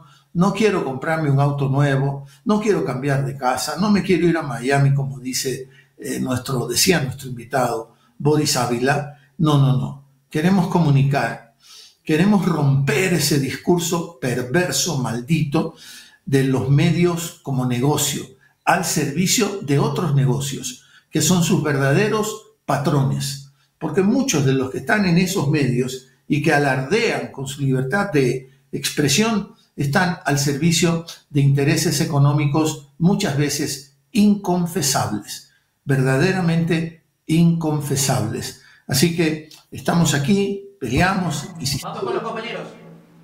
Vamos con los compañeros, ya nos vamos a Nueva York, tengo entendido, ¿no? Ahí está Jaime. A ver si me lo pones ahí. No solo Jaime, ahí está Carlita también. Jaime y Carlita. ¿cómo está? Yo los veo a ustedes por el lenguaje. Ahí se te cortó la señal. ¿Se me cortó? Yo te escucho. ya, perfecto. ¿Nos estás viendo bien, este Javier? ¿Cómo está la señal? Te veo. Bueno, y, mucho más perfecto que estoy a Carla. Aquí está Pero digo, digo, está haciendo mucho frío por la chompa. Eh. Te cuento que ya el frío está bajando un poco acá. Eh, igual hay lluvia y hay que salir enchompado, pero hace 10 días creo que el frío, el frío estaba más intenso. Aquí a mi lado está Carlita. Carlita. Mi querido Javier, un abrazo gigantesco. Gracias por poder compartir con nosotros esta transmisión. Bueno, como buenos costeños, ya tú sabes, ¿no? Aquí aguantando el piecito. Pero bueno, lo importante es que tenemos calor humano, tenemos bastante calor humano aquí. Que nos ¿Cómo están los migrantes? ¿Cómo están los migrantes, esos encuentros con nuestros migrantes? ¿Cómo ha sido eso? Tenemos eh, algunos encuentros, no sé si Jaime me ayuda por acá, por acá vamos a saludar a unos cuantos que están por, acá. se nos Saluden, se nos ponen por acá para que nos saluden. Hola, aquí con Carlita y Jaime, saludos. Mucho gusto, aquí estamos, Javier con ellos, estamos justamente compartiendo, estamos conversando, hay muchas inquietudes también. Justamente hoy hablábamos sobre esto, ¿no? sobre el estatus temporal que eh, hay posibilidades de que se dé que el gobierno lo abandera cuando realmente no es así. Esta iniciativa más viene del estado de Nueva York. Ya vamos a conversar con uno de los representantes quienes está también a través de la comunidad de migrantes, pues impulsando esto. Pero bueno, ahí tenemos algunas cosas y algunos temas que nos requieren también que nosotros tratemos, que también por supuesto te los vamos a pasar para que también los incluyas pues en, en la agenda de palabras hoy. Mira, yo, yo recuerdo cuando ¿Se fueron los compañeros, Jorge? No, ahí, está, ahí escucha. Ah. Yo recuerdo cuando empezamos a hablar, ahí están con los migrantes, de la quinta región en nuestro país. Los compañeros, hombres y mujeres migrantes haciendo Ecuador allá. Y la paradoja es que ya estábamos en la dolarización y mientras el propio empresario amenazaba a la dolarización porque retiraba los dineros, los retiran los dólares de sus ganancias y los ponen en paraísos fiscales, el migrante, la migrante que se faja todos los días, manda remesas.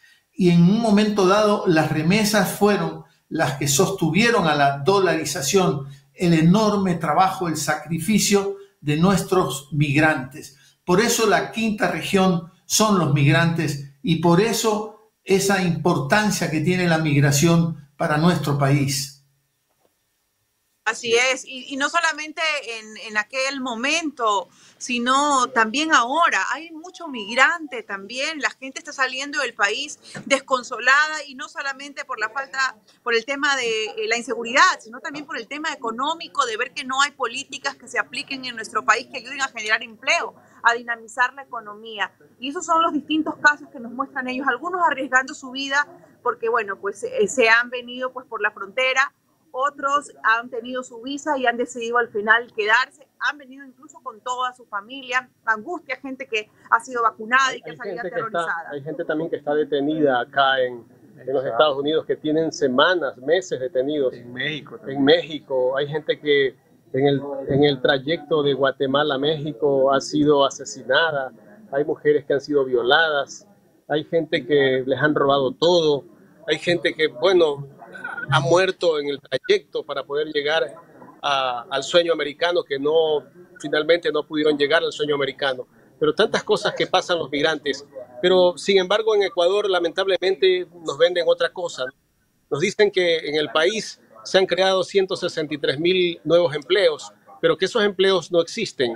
Solo existen en la mente de ciertos políticos que están respaldando al gobierno. Así es. esta, gente que está aquí, mi querido Javier, es gente que es gente valiente, gente que ha decidido salir de su país, arrancarse la mitad de su corazón para venir a conquistar tierras nuevas y que busca un espacio.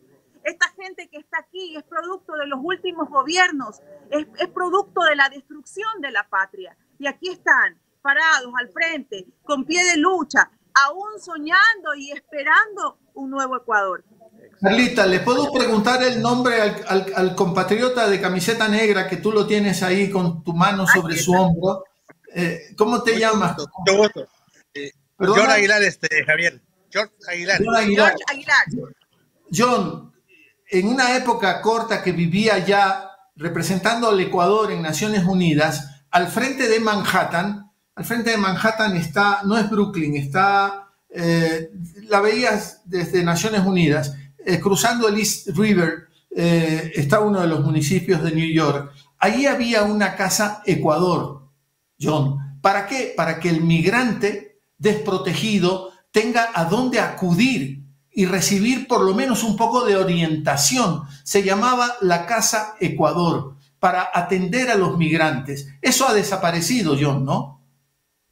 Sí, no, hoy no hay nada, estamos totalmente desprotegidos, el gobierno prácticamente no hace nada para poder eh, que, todos participemos incluso en las elecciones, no se ha hecho campañas para poder eh, que, la gente se inscriba y eso es lo, que realmente pues no hay el trabajo de, el tema de Cancillería, el tema de, consulados, se ha dejado mucho, mucho, hay mucho que desear, se ha destruido totalmente lo que es lo que es las ayudas que habían antes eh, por el tema en el tema del presidente presidente, sobre todo Rafael Correa, que fue cuando se, construyó todo esto y que realmente pues era, era otro Ecuador. Realmente nos sentíamos orgullosos de ser ecuatorianos. Hoy a veces sentimos hasta un poco, con mucha pena decirlo de verdad, sentimos hasta, hasta poco de vergüenza de ver todas las, en, qué, cómo nos están viendo a nivel internacional. Realmente se ha protegido mucho en todos los aspectos. John, no quiero abusar de ti, pero permíteme una pregunta más. ¿Cómo vas a votar el 21? ¿Cómo vas a votar el 21 de abril? Hay una consulta popular. ¿Qué vas a hacer el 21 de abril? No. Todito no, todito no. A la consulta mentirosa.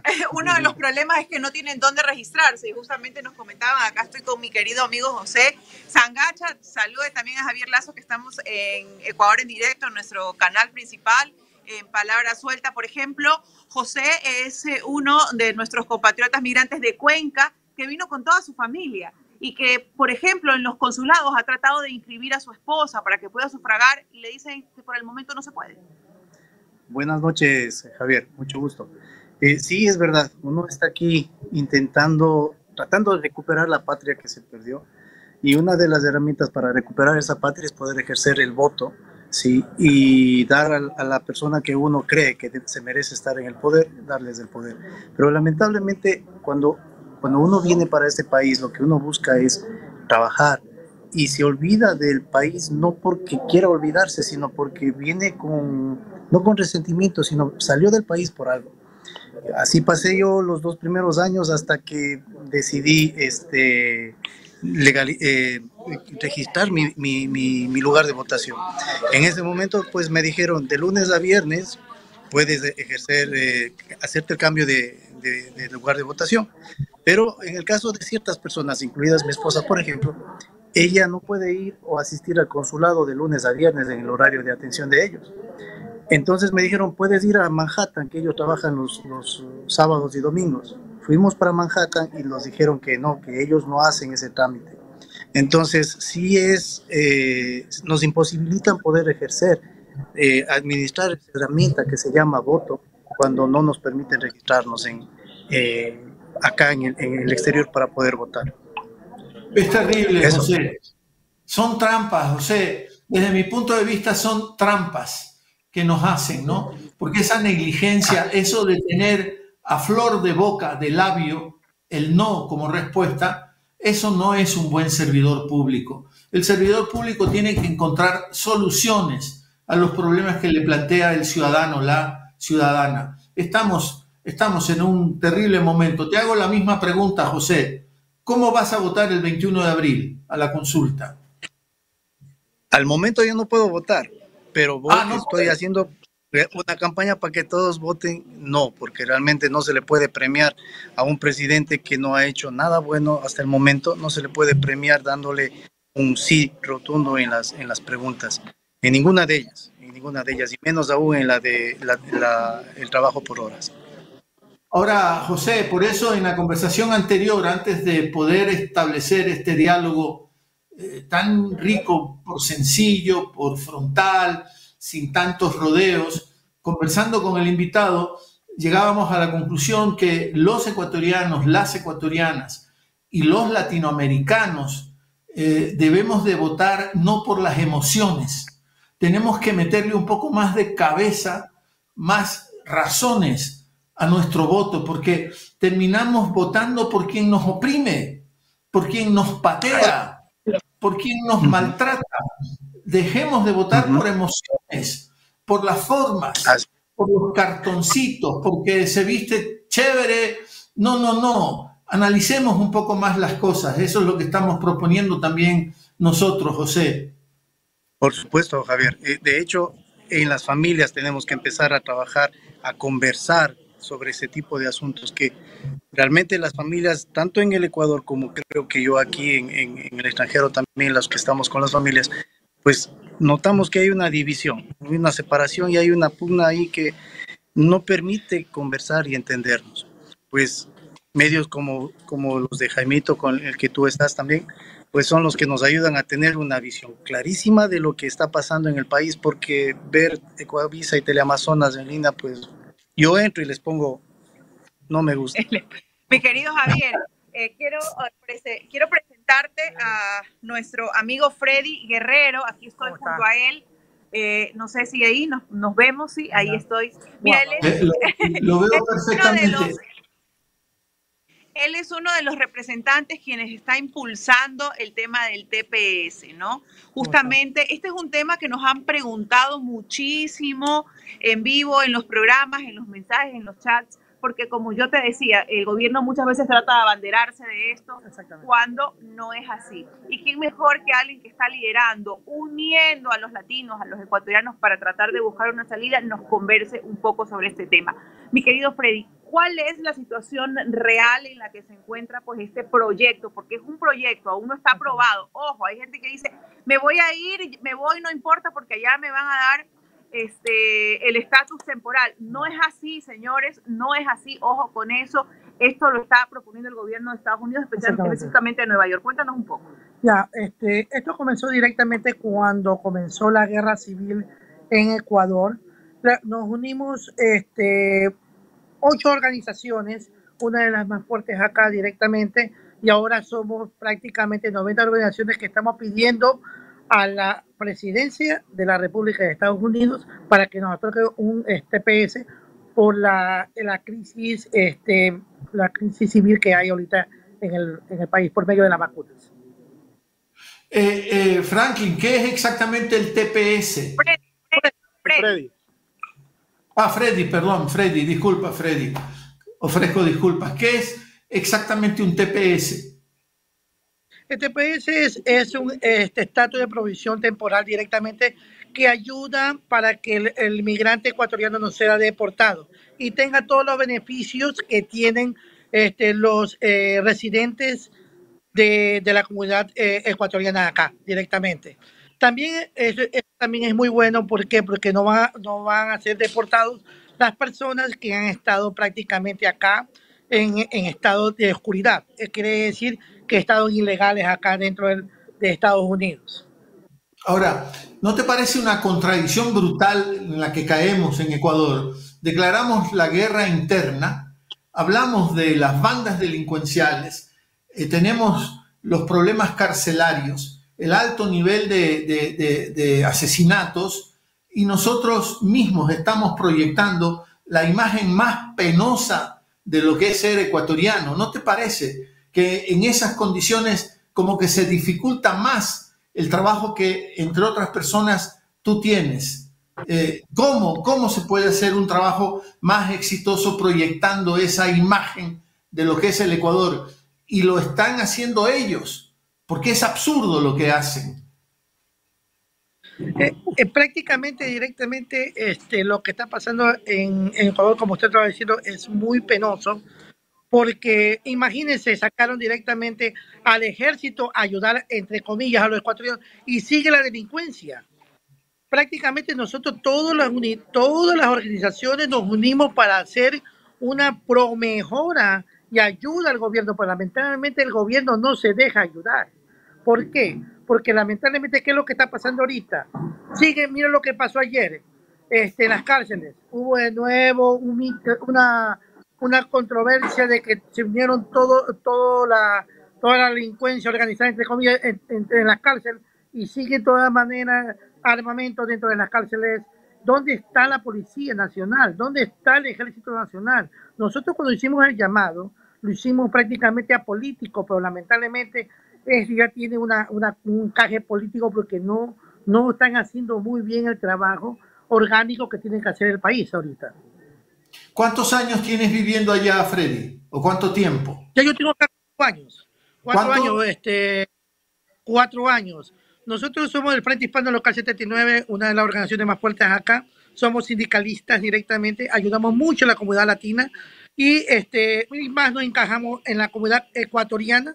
Ayudamos mucho en cuestiones migratorias, en cuestiones de accidentes y en todo lo que se encaja directamente para la ayuda ecuatoriana.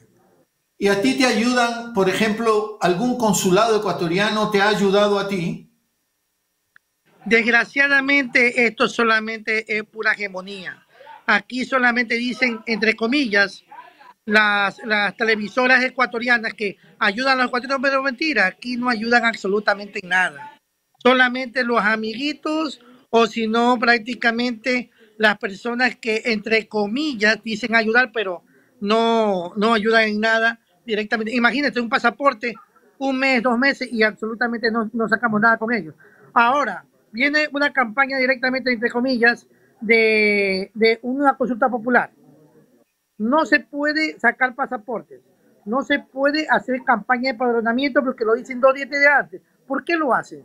Lo hacen al revés para que prácticamente nosotros sigamos viviendo en las sombras. Lamentablemente no hay ayuda acá dentro de Estados Unidos para los consulados. Bueno, Freddy, agradecerte mucho. Estás ahí en una reunión, parecen. Ustedes estaban ahí algo reunidos eh, haciendo patria allá, ¿no? Sí, haciendo patria directamente, tratando de ayudar a toda la comunidad ecuatoriana. Y también los invitamos en cualquier momento. Este es el salón de eventos que nosotros manejamos. Este es el salón que nosotros manejamos en Frente Hispano. Están cordialmente bienvenidos y con los brazos abiertos para recibirlos acá. Pero ¿en dónde estás ahorita? ¿Está, ¿Estás en, en dónde? ¿New Jersey? ¿Dónde estás? Estamos en Nueva York, en el área de Queens. Prácticamente acá en el área de Queens. Sí, aquí prácticamente tenemos 11 mil, este, un millón de ecuatorianos alrededor de todo este, este territorio acá, directamente. Oye, Freddy, ¿y, fuiste a, ¿y fuiste a ver alguno de los partidos de la selección ecuatoriana con Guatemala o con claro, Italia? Claro, este, exactamente. Fui a ver Guatemala y también fui a Italia, directamente. Gracias a Dios, me, un amigo que corresponsal de Coavisa me invitó directamente. Oye, ¿quién es el bueno, eh, está- yo les digo que está bien, ¿no? Que, que al- alguna obra buena hagan, ¿no?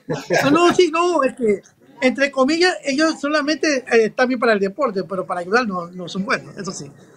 Bueno, muchas gracias, Bueno. Freddy. Muchas gracias. Freddy Guerrero, Freddy Guerrero es uno de los migrantes que también está ayudando mucho acá a los compatriotas que están en situaciones bastante difíciles, no solamente en Nueva York, sino acá en todos los estados de los Estados Unidos. Es importante reconocer la labor que hacen muchos migrantes, este, Javier. Hay migrantes que ayudan muchísimo. Acá la gente es muy solidaria, es muy solidaria. Eh, así como han sido solidarios con nosotros. Hemos recibido muchos mensajes de, de- de bienvenida acá a los Estados Unidos, justamente acá en Nueva York, y hemos tenido muchas visitas de hermanos migrantes que se han hecho presente justamente en el sitio donde hemos estado haciendo la transmisión de nuestros programas diarios de lunes a viernes. No hemos parado, por si acaso, no, no hemos estado de vacaciones, hemos estado trabajando junto a Carlita. Este, acá se trabaja muy duro, como dice Freddy. Carlita, no sé si tengamos alguien más. Así es. Yo, yo quiero eh, ponerte eh, una, una, por ejemplo, acá las mujeres, tenemos también eh, muchas mujeres, madres que se han sacrificado, que han dejado su patria, su país, y que, por ejemplo, están aquí, ya tienen bastante tiempo. Venga para acá, a ver, que no puedo con todo. Otra de nuestras amigas, eh, que sin duda eh, alguna, a ver, ahí, que sin duda alguna también quiere días mejores.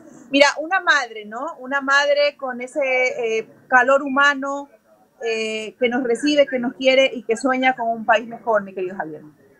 ¿Cómo es su nombre? Ah, Gina Pinos. ¿Cómo? Gina, Gina. Gina, Gina Pinos. ¿De qué parte de Ecuador es usted, Gina? Bueno, soy, soy manavita de nacimiento, guayaquileña de corazón. Ah, mire Yo usted. vivo en Guayaquil. Sí.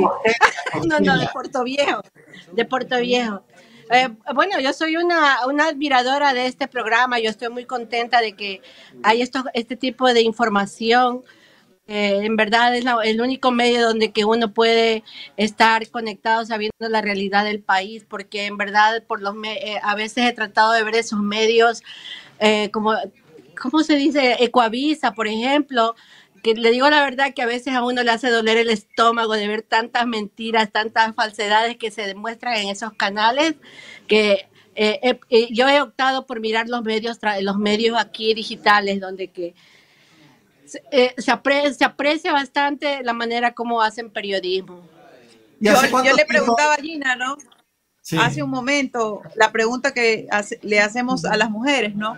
Como madre, ¿cómo quieres ver a tu patria? Ah, Claro. Yo, yo sueño, sueño con ver a mi patria como era hace siete años. El, el orgullo, ¿sabes el orgullo que uno sentía de decir soy ecuatoriana cuando vivíamos en la época del presidente Rafael Correa? Ese es mi sueño. Y, yo estuve hace 10 años allá en Ecuador, no, hace 8 años, mami, estuve cuando vivía el presidente Correa y cómo, cómo cambió el país de una manera tan, tan increíble que uno sentía orgullo, que yo decía, oh my God, mire cómo están esas carreteras. Porque yo me acuerdo cuando era mucho pequeñita, yo viajaba de Guayaquil a Cuenca y era puro baches, íbamos en, en, en los buses que no... Y cuando mi hermano me lleva a Cuenca, eh, eh, yo viendo las carreteras, me parecía una ciudad tan hermosa, viajar de Guayaquil a Cuenca y ver esas carreteras era algo que yo, yo no lo creía. Pero, y, y, no, y no solamente eso, sino ver todos los cambios que hubieron y lo que más, me, más, más dolor me ha causado ahora, ver que habemos, hay tantos compatriotas, porque la palabra sí es ser mal agradecido, que, y se han dejado envenenar, se han dejado envenenar su mente, su corazón con tantas mentiras de esos canales y esa prensa corrupta. Entonces, yo lo que hago es escuchar de ustedes un poquito por estos medios. Tenemos que ser alegres, porque tenemos que eliminar el odio de nuestros cuerpos. Nos hace mucho daño el odio. Eh, hagamos un homenaje a la alegría a pesar de todo. Gina, ¿cuándo fue la última vez que estu- usted estuvo en Puerto Viejo? Oh Usted- my God, ahí me usted- cogió, me cogió en rojo. No, maybe. So, quizás es, es muchos, muchos años. Yo en verdad viví mucho tiempo en Guayaquil, quizás algún, maybe puede haber tenido yo unos, unos añitos cuando regresé a Manaví, pero no, no me recuerdo en verdad. No, es que, es que yo sí visité Puerto Viejo no hace mucho. Tengo orígenes portovejenses. Mi madre era de Puerto Viejo. Y entonces hay un parque precioso, un nuevo parque en Puerto Viejo que se hizo después del terremoto, ¿no? Y ahora al ex vicepresidente Jorge Glass lo persiguen por haber hecho ese parque Ah. En Esa es otra cosa que es vergonzoso. Sí, no. Mire, yo escucho todas esas noticias y me duelen el alma, porque mire, si, si tenemos nosotros que ser agradecidos de dos personas tan importantes, presidente Correa y Jorge Glass, yo creo que fueron los que hicieron un, un hit- hito en la historia de Ecuador. Y nosotros debemos, no debemos olvidarnos de eso. Ellos hicieron mucho por la patria y mire, son los más perseguidos. Entonces, eso duele. Bueno, mi Ajá. querido Javier, eh, me quiero despedir de Gina, Carlita. Me puedo despedir de Gina. Gina, muchas gracias, muchas Sí. gracias por su Muchas conversación. gracias, gracias a usted también. Me encantan Oiga. todas sus entrevistas, no me las pierdo. No me las pierdo, Oiga, en serio, ¿Y, señor y Lazo. por qué, ¿Y por qué solo invitan a Jaime y a Carlita? ¿Por qué solo a ellos?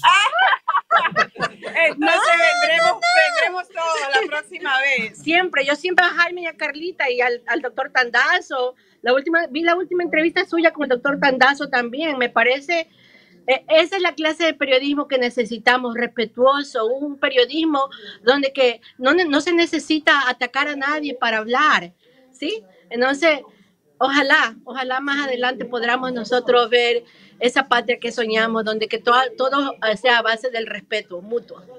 ¿Cómo, ¿Ok? ¿Cómo va su inglés, Gina? ¿Cómo va su Oh, inglés? I am very good. I live, I live here a lot of years. Ah, ok, ok. So you speak very good English. Yes, thank you. Javier, vamos, vamos a seguir conversando. Sí tienes unos minutitos más, ¿no? Sí, claro. Yo sí. Pero antes, antes quiero ponerte en pantalla. Mira, mira cómo nos están viendo acá, ve. Hay una pantalla de fondo ahí. Ahí estás viendo el en vivo. Sí, sí. Ahí, ahí estás. Ahí estamos. Eh, Ahí chévere. estamos. Ahí estamos. Pantalla gigante. Pantalla Muy gigante. emocionante. Muy emocionante esto. Eh, A ver si entrevistamos a nuestro amigo, un líder indígena que está haciendo un gran trabajo también acá con los hermanos migrantes que están llegando en estos, en estos últimos tiempos acá a los Estados Unidos. Vamos a saludar con él. Nos recuerda su nombre, mi estimado. Eh, Can Elías Valente. Mi nombre es Elías Valente. Elías Valente. Él es un líder indígena peruano. Exactamente. Vengo de la provincia de Chimborazo. Tengo siete meses por acá. Siete meses Elías, recién. Elías, hablaste en quichua, me parece, ¿cierto? Saludo. Tamasi Javier, eh, Caipicanchi, Nueva York, Yachtamanta, Canta Saludanchi, eh, Ñuca Cani, Troji Grande Manta, líder indígena Purúa, Caipi, Ashita, Ashita, Yancas, Poricoche. Buenas noches. Le decía, estimado Javier, un cordial saludo desde Nueva York. Soy un líder indígena de la provincia de Chimborazo. Estamos radicados aproximadamente seis meses acá en Nueva York. Y yo tengo que ofrecerte con, con vergüenza decirte que no hablo quichua. Debería de hablar, porque es una lengua ancestral de nuestro país y no nos enseñan quichua. Porque esto ancestral, porque lo indígena, en esa visión tan torpe, torpe del Ecuador, más que orgullo produce vergüenza para ciertas élites. Son esas las cosas que tenemos que seguir cambiando, Elías, ¿no? Porque yo hablo inglés, no, no muy bien, ¿no? Pero hablo inglés y no hablo quichua. Es un absurdo, ¿no es cierto? Es un absurdo. Para nosotros es una bendición poder eh, mantener nuestra identidad cultural, sobre todo las cosas, la lengua materna. Somos 14 nacionalidades, 18 pueblos. Soy Sí. parte de la cultura purúa. De verdad, por acá igual estamos también, de alguna forma, ¿no? manteniendo nuestra identidad. Nosotros los ecuatorianos somos diversos, somos ricos en cultura, en gastronomía. Lamentablemente, por los malos gobiernos estamos donde estamos. Pero no me arrepiento. Acá estamos también haciendo patria desde aquí de alguna forma poniendo el hombre a favor de nuestros compatriotas que tanta falta hace la ayuda por acá, es bastante fuerte, la vida por acá no es nada fácil. Y eso, es- y eso hay que agradecer, hay que agradecer, Elías. Que hagas ese trabajo es para, para agradecer, ¿no? Eh, y suerte, que haya suerte, Elías. ¿Estás listo para el 21 de abril, Elías? Hay una consulta popular. ¿Estás registrado? ¿Vas a poder votar o no vas a votar el 21 de abril? Claro, estamos haciendo ese proceso. Hoy justamente tenía que hacer unos trámites. Estamos dispuestos. Nosotros vamos a votar a favor de la patria. No vamos a votar por que solamente gobiernan para sus propios intereses. Vamos a votar en favor de la patria. Desde aquí, desde de este lejanas tierras, nosotros vamos a tomar las decisiones en favor de nuestra familia y de nuestra patria querida, que en este momento está sufriendo las consecuencias de los malos administradores. O sea, votarás no todo. 11 veces. 11 veces no. Elías, que haya suerte y muchas gracias. Muchas gracias por, por La llenar.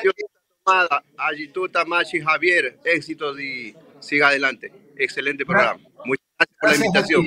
Caipimi Canchi, Suk Sinaya, Suk Yuyaya, Suk Sunguya, Ecuador, Mama Pacha. Amamos con nuestro infinito amor. Maravilla, maravilla, Mashi. Muchas Gracias. gracias. Gracias. Gracias, Luis. Bueno, ahí estaba el Machi Luis conversando con Ecuador en directo. Carlita, no sé si tengamos alguien Ah, más, me ah, confirma. acá estoy, acá estoy. Saludamos con Moncho. Moncho. ¿dónde está Moncho? ¿Dónde está Moncho? Agradecerle Moncho. por esa invitación. Hoy en la mañana lo entrevistamos a Moncho, pero Moncho es un eh, migrante que tiene muchísimos años, es profesor universitario, es catedrático de, de universidades del Ecuador, aunque vive acá en los Estados Unidos, y también es este traductor, traductor de español a inglés. Sí, un saludo, Javier, aquí haciendo patria desde la Boca del Lobo. Siempre le digo a la gente, eh, desde la Boca del Lobo, acá en Nueva York, pero sin embargo seguimos en la lucha, ¿no? En cualquier rincón que estemos, siempre vamos a trabajar en pro de, de la patria y en pro de, de las grandes masas, ¿no? Un saludo. ¿De, qué- de- de dónde eres, Moncho? ¿De qué parte eres?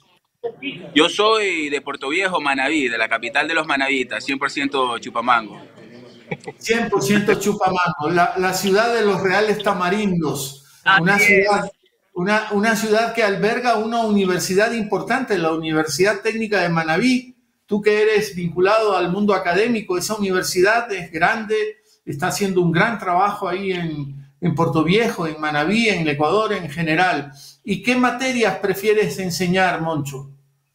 Bueno, yo soy eh, politólogo y magíster en administración pública. Siempre doy las materias que tienen que ver con las ciencias sociales. Es más, eh, dentro de la carrera de Derecho en línea, que es la que ofrece la Universidad Técnica de Manabí, también he podido dar clases ahí. Así que le mando un saludo a los compañeros de la Universidad Técnica de Manabí, a Marcelo Toala, a Fernando Casado, Nicky Bravo, el propio compañero Abraham Verduga también ha colaborado con la universidad y bueno, se me van a escapar algunas, algunas mentes ahí de tantos compañeros que tenemos, ¿no? Chévere, has mencionado este otro compañero, Abraham Verduga, que también yo lo siento compañero, ¿no? Porque ha hecho un gran trabajo, Abraham. Ahora sí, ahora vive en Salamanca, en España, ¿no? Eh, más avispado que tú y yo juntos, hermano. Y está de cumpleaños hoy día, si no me equivoco. Ah, cumpleaños, ¿eh? Bueno, hay que, hay que felicitarlo Sí, le mandamos un feliz cumpleaños desde acá. Que vive el santo, iba a decir yo. ¿Cuántos años tienes viviendo allá, Moncho?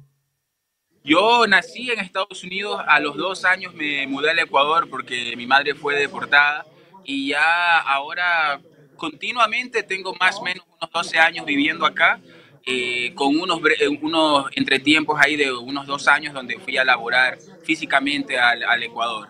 Pero yo diría unos 12 años acá.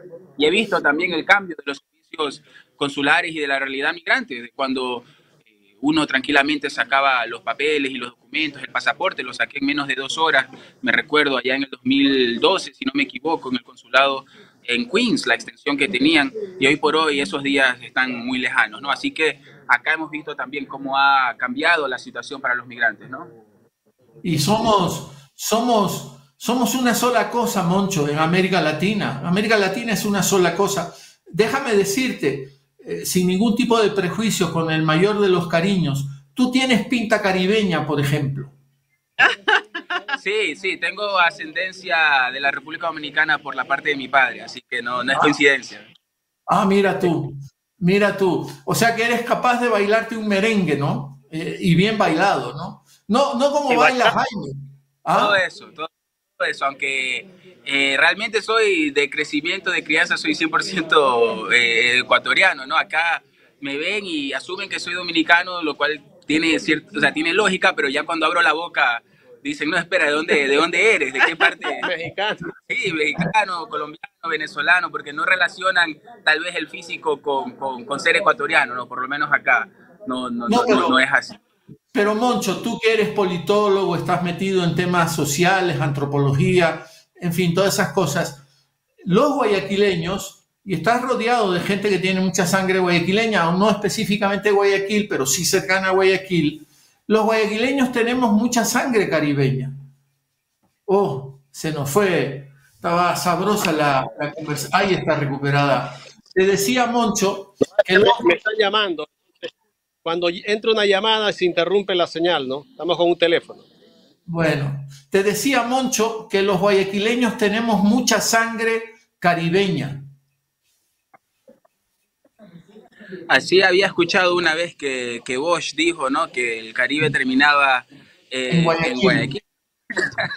sí, pero, pero sí, no, acá la, la, población migrante uno se da cuenta de las similitudes que tenemos como patria grande, que la, la lucha de los, de los, migrantes es una sola, también tener eso en cuenta y no tal vez a veces eh, batallar entre nacionalidades sobre quién, un ejemplo, merece TPS y quién no, o quiénes son los buenos migrantes o los malos migrantes. Y realmente eh, acá, más que nada, eh, en la boca del lobo, como mencionaba antes, eh, me he dado cuenta ya después de tantos años que, como dice la letra de los prisioneros, no, no reconocemos fronteras, no reconocemos eh, banderas y acá hemos podido ser una, una sola masa, lo cual irónicamente ¿no? Eh, nos une más a la patria grande, pero a la misma vez nos hace más ecuatorianos al estar lejos de la patria y realmente extrañar y sentir al doble todas esas cosas que para el ecuatoriano que, que no sale del país en buena hora eh, no, no, no, no, se da cuenta de esas cosas cotidianas que extrañaría o, del estilo de vida que tiene. ¿no? O escuchar la canción de René, que era de calle 13, América Latina, ¿no? Puedes comprar todo, pero no claro. vas a no todo se puede comprar. Esa esencia que nos hace latinoamericanos, esa patria grande, ¿no? Eso no se vende y eso no se compra, eh, Moncho, ¿no? Eh, ¿Qué es lo que más extrañas de Ecuador? Bueno, yo lo que más extraño de Ecuador, lo primero que se me viene a mente es la, la comida, pero más que nada eh, el clima. Imagínense ser de, de, de una ciudad costeña, de, de, un valle como es Puerto Viejo, que tiene un clima más, más templado, esas son las, las cosas que más extraña, pero esa, ese diario vivir, ¿no? Imagínense con la velocidad de cómo pasan las cosas en, en Nueva York comparado con, con, una ciudad como Puerto Viejo, como Ecuador. Eh, más que nada extraño la sensación de, de, estar entre los míos, ¿no? De no ser un extranjero, como diría eh, Alberto Camus, ¿no? sino realmente estar en, en, entre el pueblo de uno creo que, que, es lo que más extraña. Y que cualquier cosa, eh, y esto ya es algo, de, de, cómo yo miro la vida y de mi ideología personal, que cualquier cosa que uno aporte o que uno construya, en este caso siendo migrante, se queda acá o muy bien beneficia acá. Y, y esa sensación de aportar para la patria, de hacer patria, eh, es lo que se extraña, ¿no? Por eso estamos eh, haciéndola desde lejos con los migrantes, que donde hay un ecuatoriano está la patria, así que de esa manera seguimos eh, no pasando la vida comiendo y durmiendo, sino tratando de dejar algún tipo de legado para, para la mejora de, de, las grandes masas, ¿no? y en este caso de los ecuatorianos. Moncho, ya estás dejando atrás el invierno, o sea que vuelve la vida a tu cuerpo. sí, yo soy muy malo para los inviernos. Es más, los dos últimos inviernos los había pasado en Ecuador justamente por eso. Y este fue mi primer invierno en Estados Unidos en unos tres años más o menos.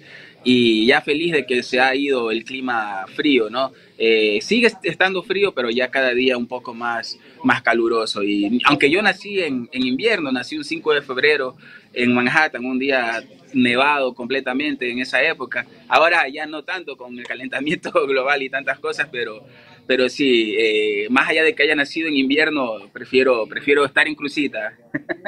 Sí, sí, maravillosa playa, la de Crucitas, ¿no?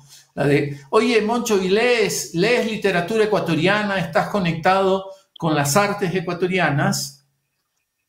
Más he leído a, autores contemporáneos. Eh, bueno, yo lo incluyo como ecuatoriano, ¿no? Al compañero eh, Quinto Lucas, uno de mis autores eh, favoritos. Tengo varios de sus libros.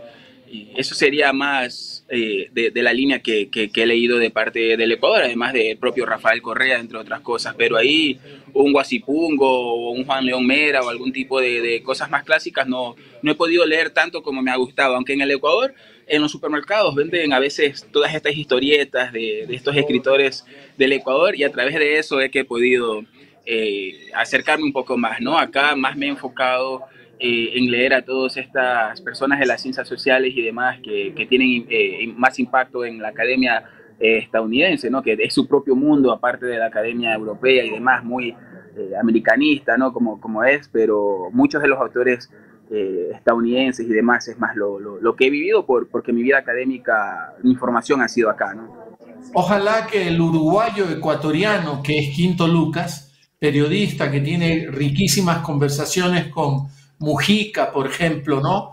haya estado en sintonía de, este programa y le habrás dado un alegrón enorme al mencionar lo que está entre los autores que lees eh, ahora y que te permiten conexión con Ecuador. Eh, Moncho, muchísimas gracias por, por, conversar con nosotros, ¿no? por permitirnos eh, tener esa emoción de sentir la patria allá también, ¿no?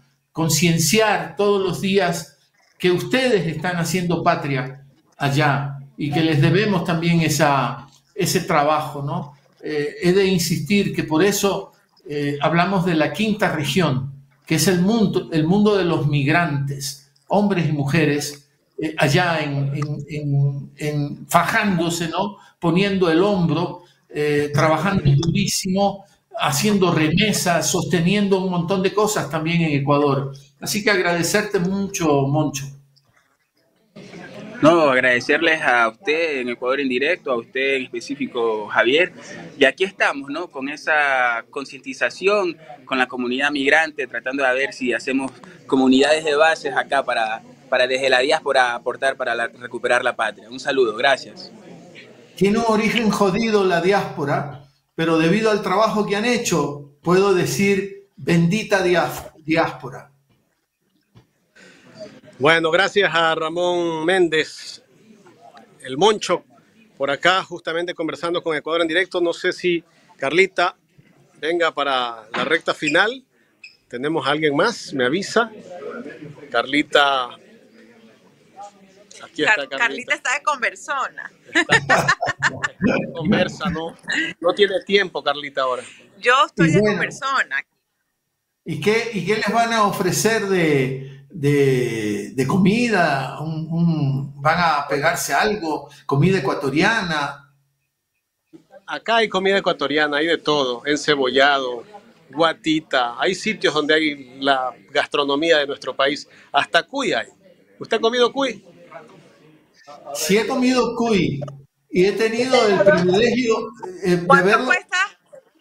60 dólares cuesta un cuy aquí. 60, 80, Lo mismo, ya está llegando el cangrejo, pero un atado de cangrejo cuesta como 100 dólares más o menos. Un atadito, imagínense, un atadito. ¿Cómo se sufre aquí con la comida, mi querido? Te toca comer hot dog. Oye, oye, ha sido un contacto muy, muy chévere. No sé si empezaron no bien. ¿no? ¿Ah? No te lo esperabas, ni nosotros lo esperábamos. no me lo esperaba. Ha sido una palabra suelta muy movida porque estuvimos a Hitor Martínez por el tema de Julián, porque hubo un pronunciamiento de la justicia británica. Luego, no sé si lo hayas entrevistado a Boris Ávila eh, sobre el tema de, el arbitraje y la flexibilización laboral, el literal D y E de la tramposa consulta del 21 de abril. Y cuando ya estaba por irme, me dicen, está Jaime, están Jaime y Carla en Nueva York. Chuta, ponlos, pues Jorge, eh, ponlos enseguida para charlar con los compañeros. Cuento que, y cuento que igual hemos, hemos traído una cámara, que vamos a hacer algunas entrevistas aquí y vamos a, Vamos a salir el día lunes eh, con Mónica Palacios, la asambleísta, que está por acá también. Vamos a hacer unas entrevistas también en algunos albergues donde hay ecuatorianos, vamos a ir al, al metro, a ver cómo está la situación de los hermanos migrantes, la realidad, para contar la realidad, porque resulta que allá vemos la cosa de otra manera, ¿no? Y algunos medios no dicen nada porque no les conviene. Mónica Palacios ah, vivió como 18 años ahí en Nueva York, así que ella también tiene un poco, el alma la tiene un poco de neoyorquina también, ¿no? Siendo ecuatoriana, ecuatorianísima como es, eh, domina el inglés y ha vivido muchos años allá en Nueva York, así que eh, sí, vale la pena, ¿no? Que, que eh, sea tu guía turística, sea la, la, guía turística de ustedes, Mónica Palacios. Tremendo lujo, ¿no? Una asambleísta como esa guiándoles por Nueva York. Eh, ¿Y cuándo es el feliz retorno? ¿O, te, ¿O, se piensan quedar allá? No, el retorno va a ser el día eh, martes a la madrugada, este, Javier. Ya el lunes en la noche hacemos maleta, 11 de la noche. Si Dios lo permite, estaremos en el aeropuerto. Bueno, los estaremos esperando, pero me imagino, Carla, Jaime, que el martes no están en los especialistas. Que siga asumiendo Gustavo el programa. Ahí está haciendo un gran trabajo, Gustavo. ¿eh? Saludos sí, sí. para Gustavo. Sí, lo he estado viendo, lo he estado viendo. A, para Jorge también. Ah, Jorge, que ahí nos está escuchando, no se vaya a resentir porque, bueno, yo lo saludo a cada rato. ¿no? Ya, ya, ya. Gilda Miranda también, Gilda Miranda y todo el equipo que hace lo posible para que el trabajo llegue como tiene que ser. Redes sociales, hay un gran equipo que está trabajando y que desde acá también nosotros estamos colaborando, haciendo lo que podemos, ¿no? Bueno, eh, Carla, eh, que te vaya bien, que termines muy bien ese periplo neoyorquino. Eh, no sé, no sé qué recomendarte, si te vas a ver un espectáculo musical, pero no, no me atrevo a decirte. Nos perdimos el espectáculo de Shakira, nos perdimos el espectáculo de Shakira que era gratuito en, Nueva, en Manhattan hace dos o dos tres días, días. Dos días, dos días. Sí, no llegamos, no llegamos. Mire, el, el, el, mejor espectáculo que podemos tener, mi querido Javier, es ese caluroso afecto que hemos recibido de la gente y poder compartir con ellos. La verdad nos ha agradado muchísimo. Estamos muy contentos, no nos esperábamos todo esto, pero yo creo que la mayor satisfacción que nos llevamos, el mayor lujo que nos llevamos es haber podido compartir con, con nuestra gente, con nuestra tierra y quienes ayudan a que ese Ecuador se levante, tú lo decías al inicio, las remesas que envían es lo que aún tiene de pie el Ecuador. Así que hay algunos lugares muy bonitos que son turísticos, pero lo más bonito es el calor humano y sobre todo si es el calor de tus compatriotas ecuatorianos. Sí, me parece. Sí, Javier, quiero, dale, dale. quiero agradecerle también a la gente que está conectada en este momento, a Brady Pazmiño, este, nos está viendo, hace un momento vi que entró un mensaje, el economista Víctor Andrades, que es de Azogues, pero que es casi que guayaquileño ya. Bueno, Omar Novoa, también un fiel seguidor del programa. Yolandita Martínez, Norma Macías. Sí, sí, Omar siempre y colabora siempre con el medio. Y toda la gente que está conectada, les envío un fuerte abrazo caluroso desde acá, desde Nueva York, Estados Unidos. Vamos a seguir nosotros por acá un rato más con nuestros hermanos migrantes, vamos a hacer unas entrevistas y nos estaremos, estaremos conversando después, Javier. El calor de los migrantes aplaca el invierno neoyorquino. Envidiable experiencia la que ustedes están viviendo. Disfrútenla. Y ha sido realmente un honor poder participar de esa experiencia de ustedes. Nos vemos pronto ya en el Ecuador. Gracias. Igualmente un abrazo para todos. Cuídate, Jaime, cuídate, Carlita. Buen retorno. Jaime de la Cruz y Carla Aro para cerrar con esta conversación en medio de esa reunión con los migrantes ecuatorianos, si mal no lo recuerdo, en Queens, ahí al frente de la eh, conocidísima y quizá más fotogénica ciudad de este planeta.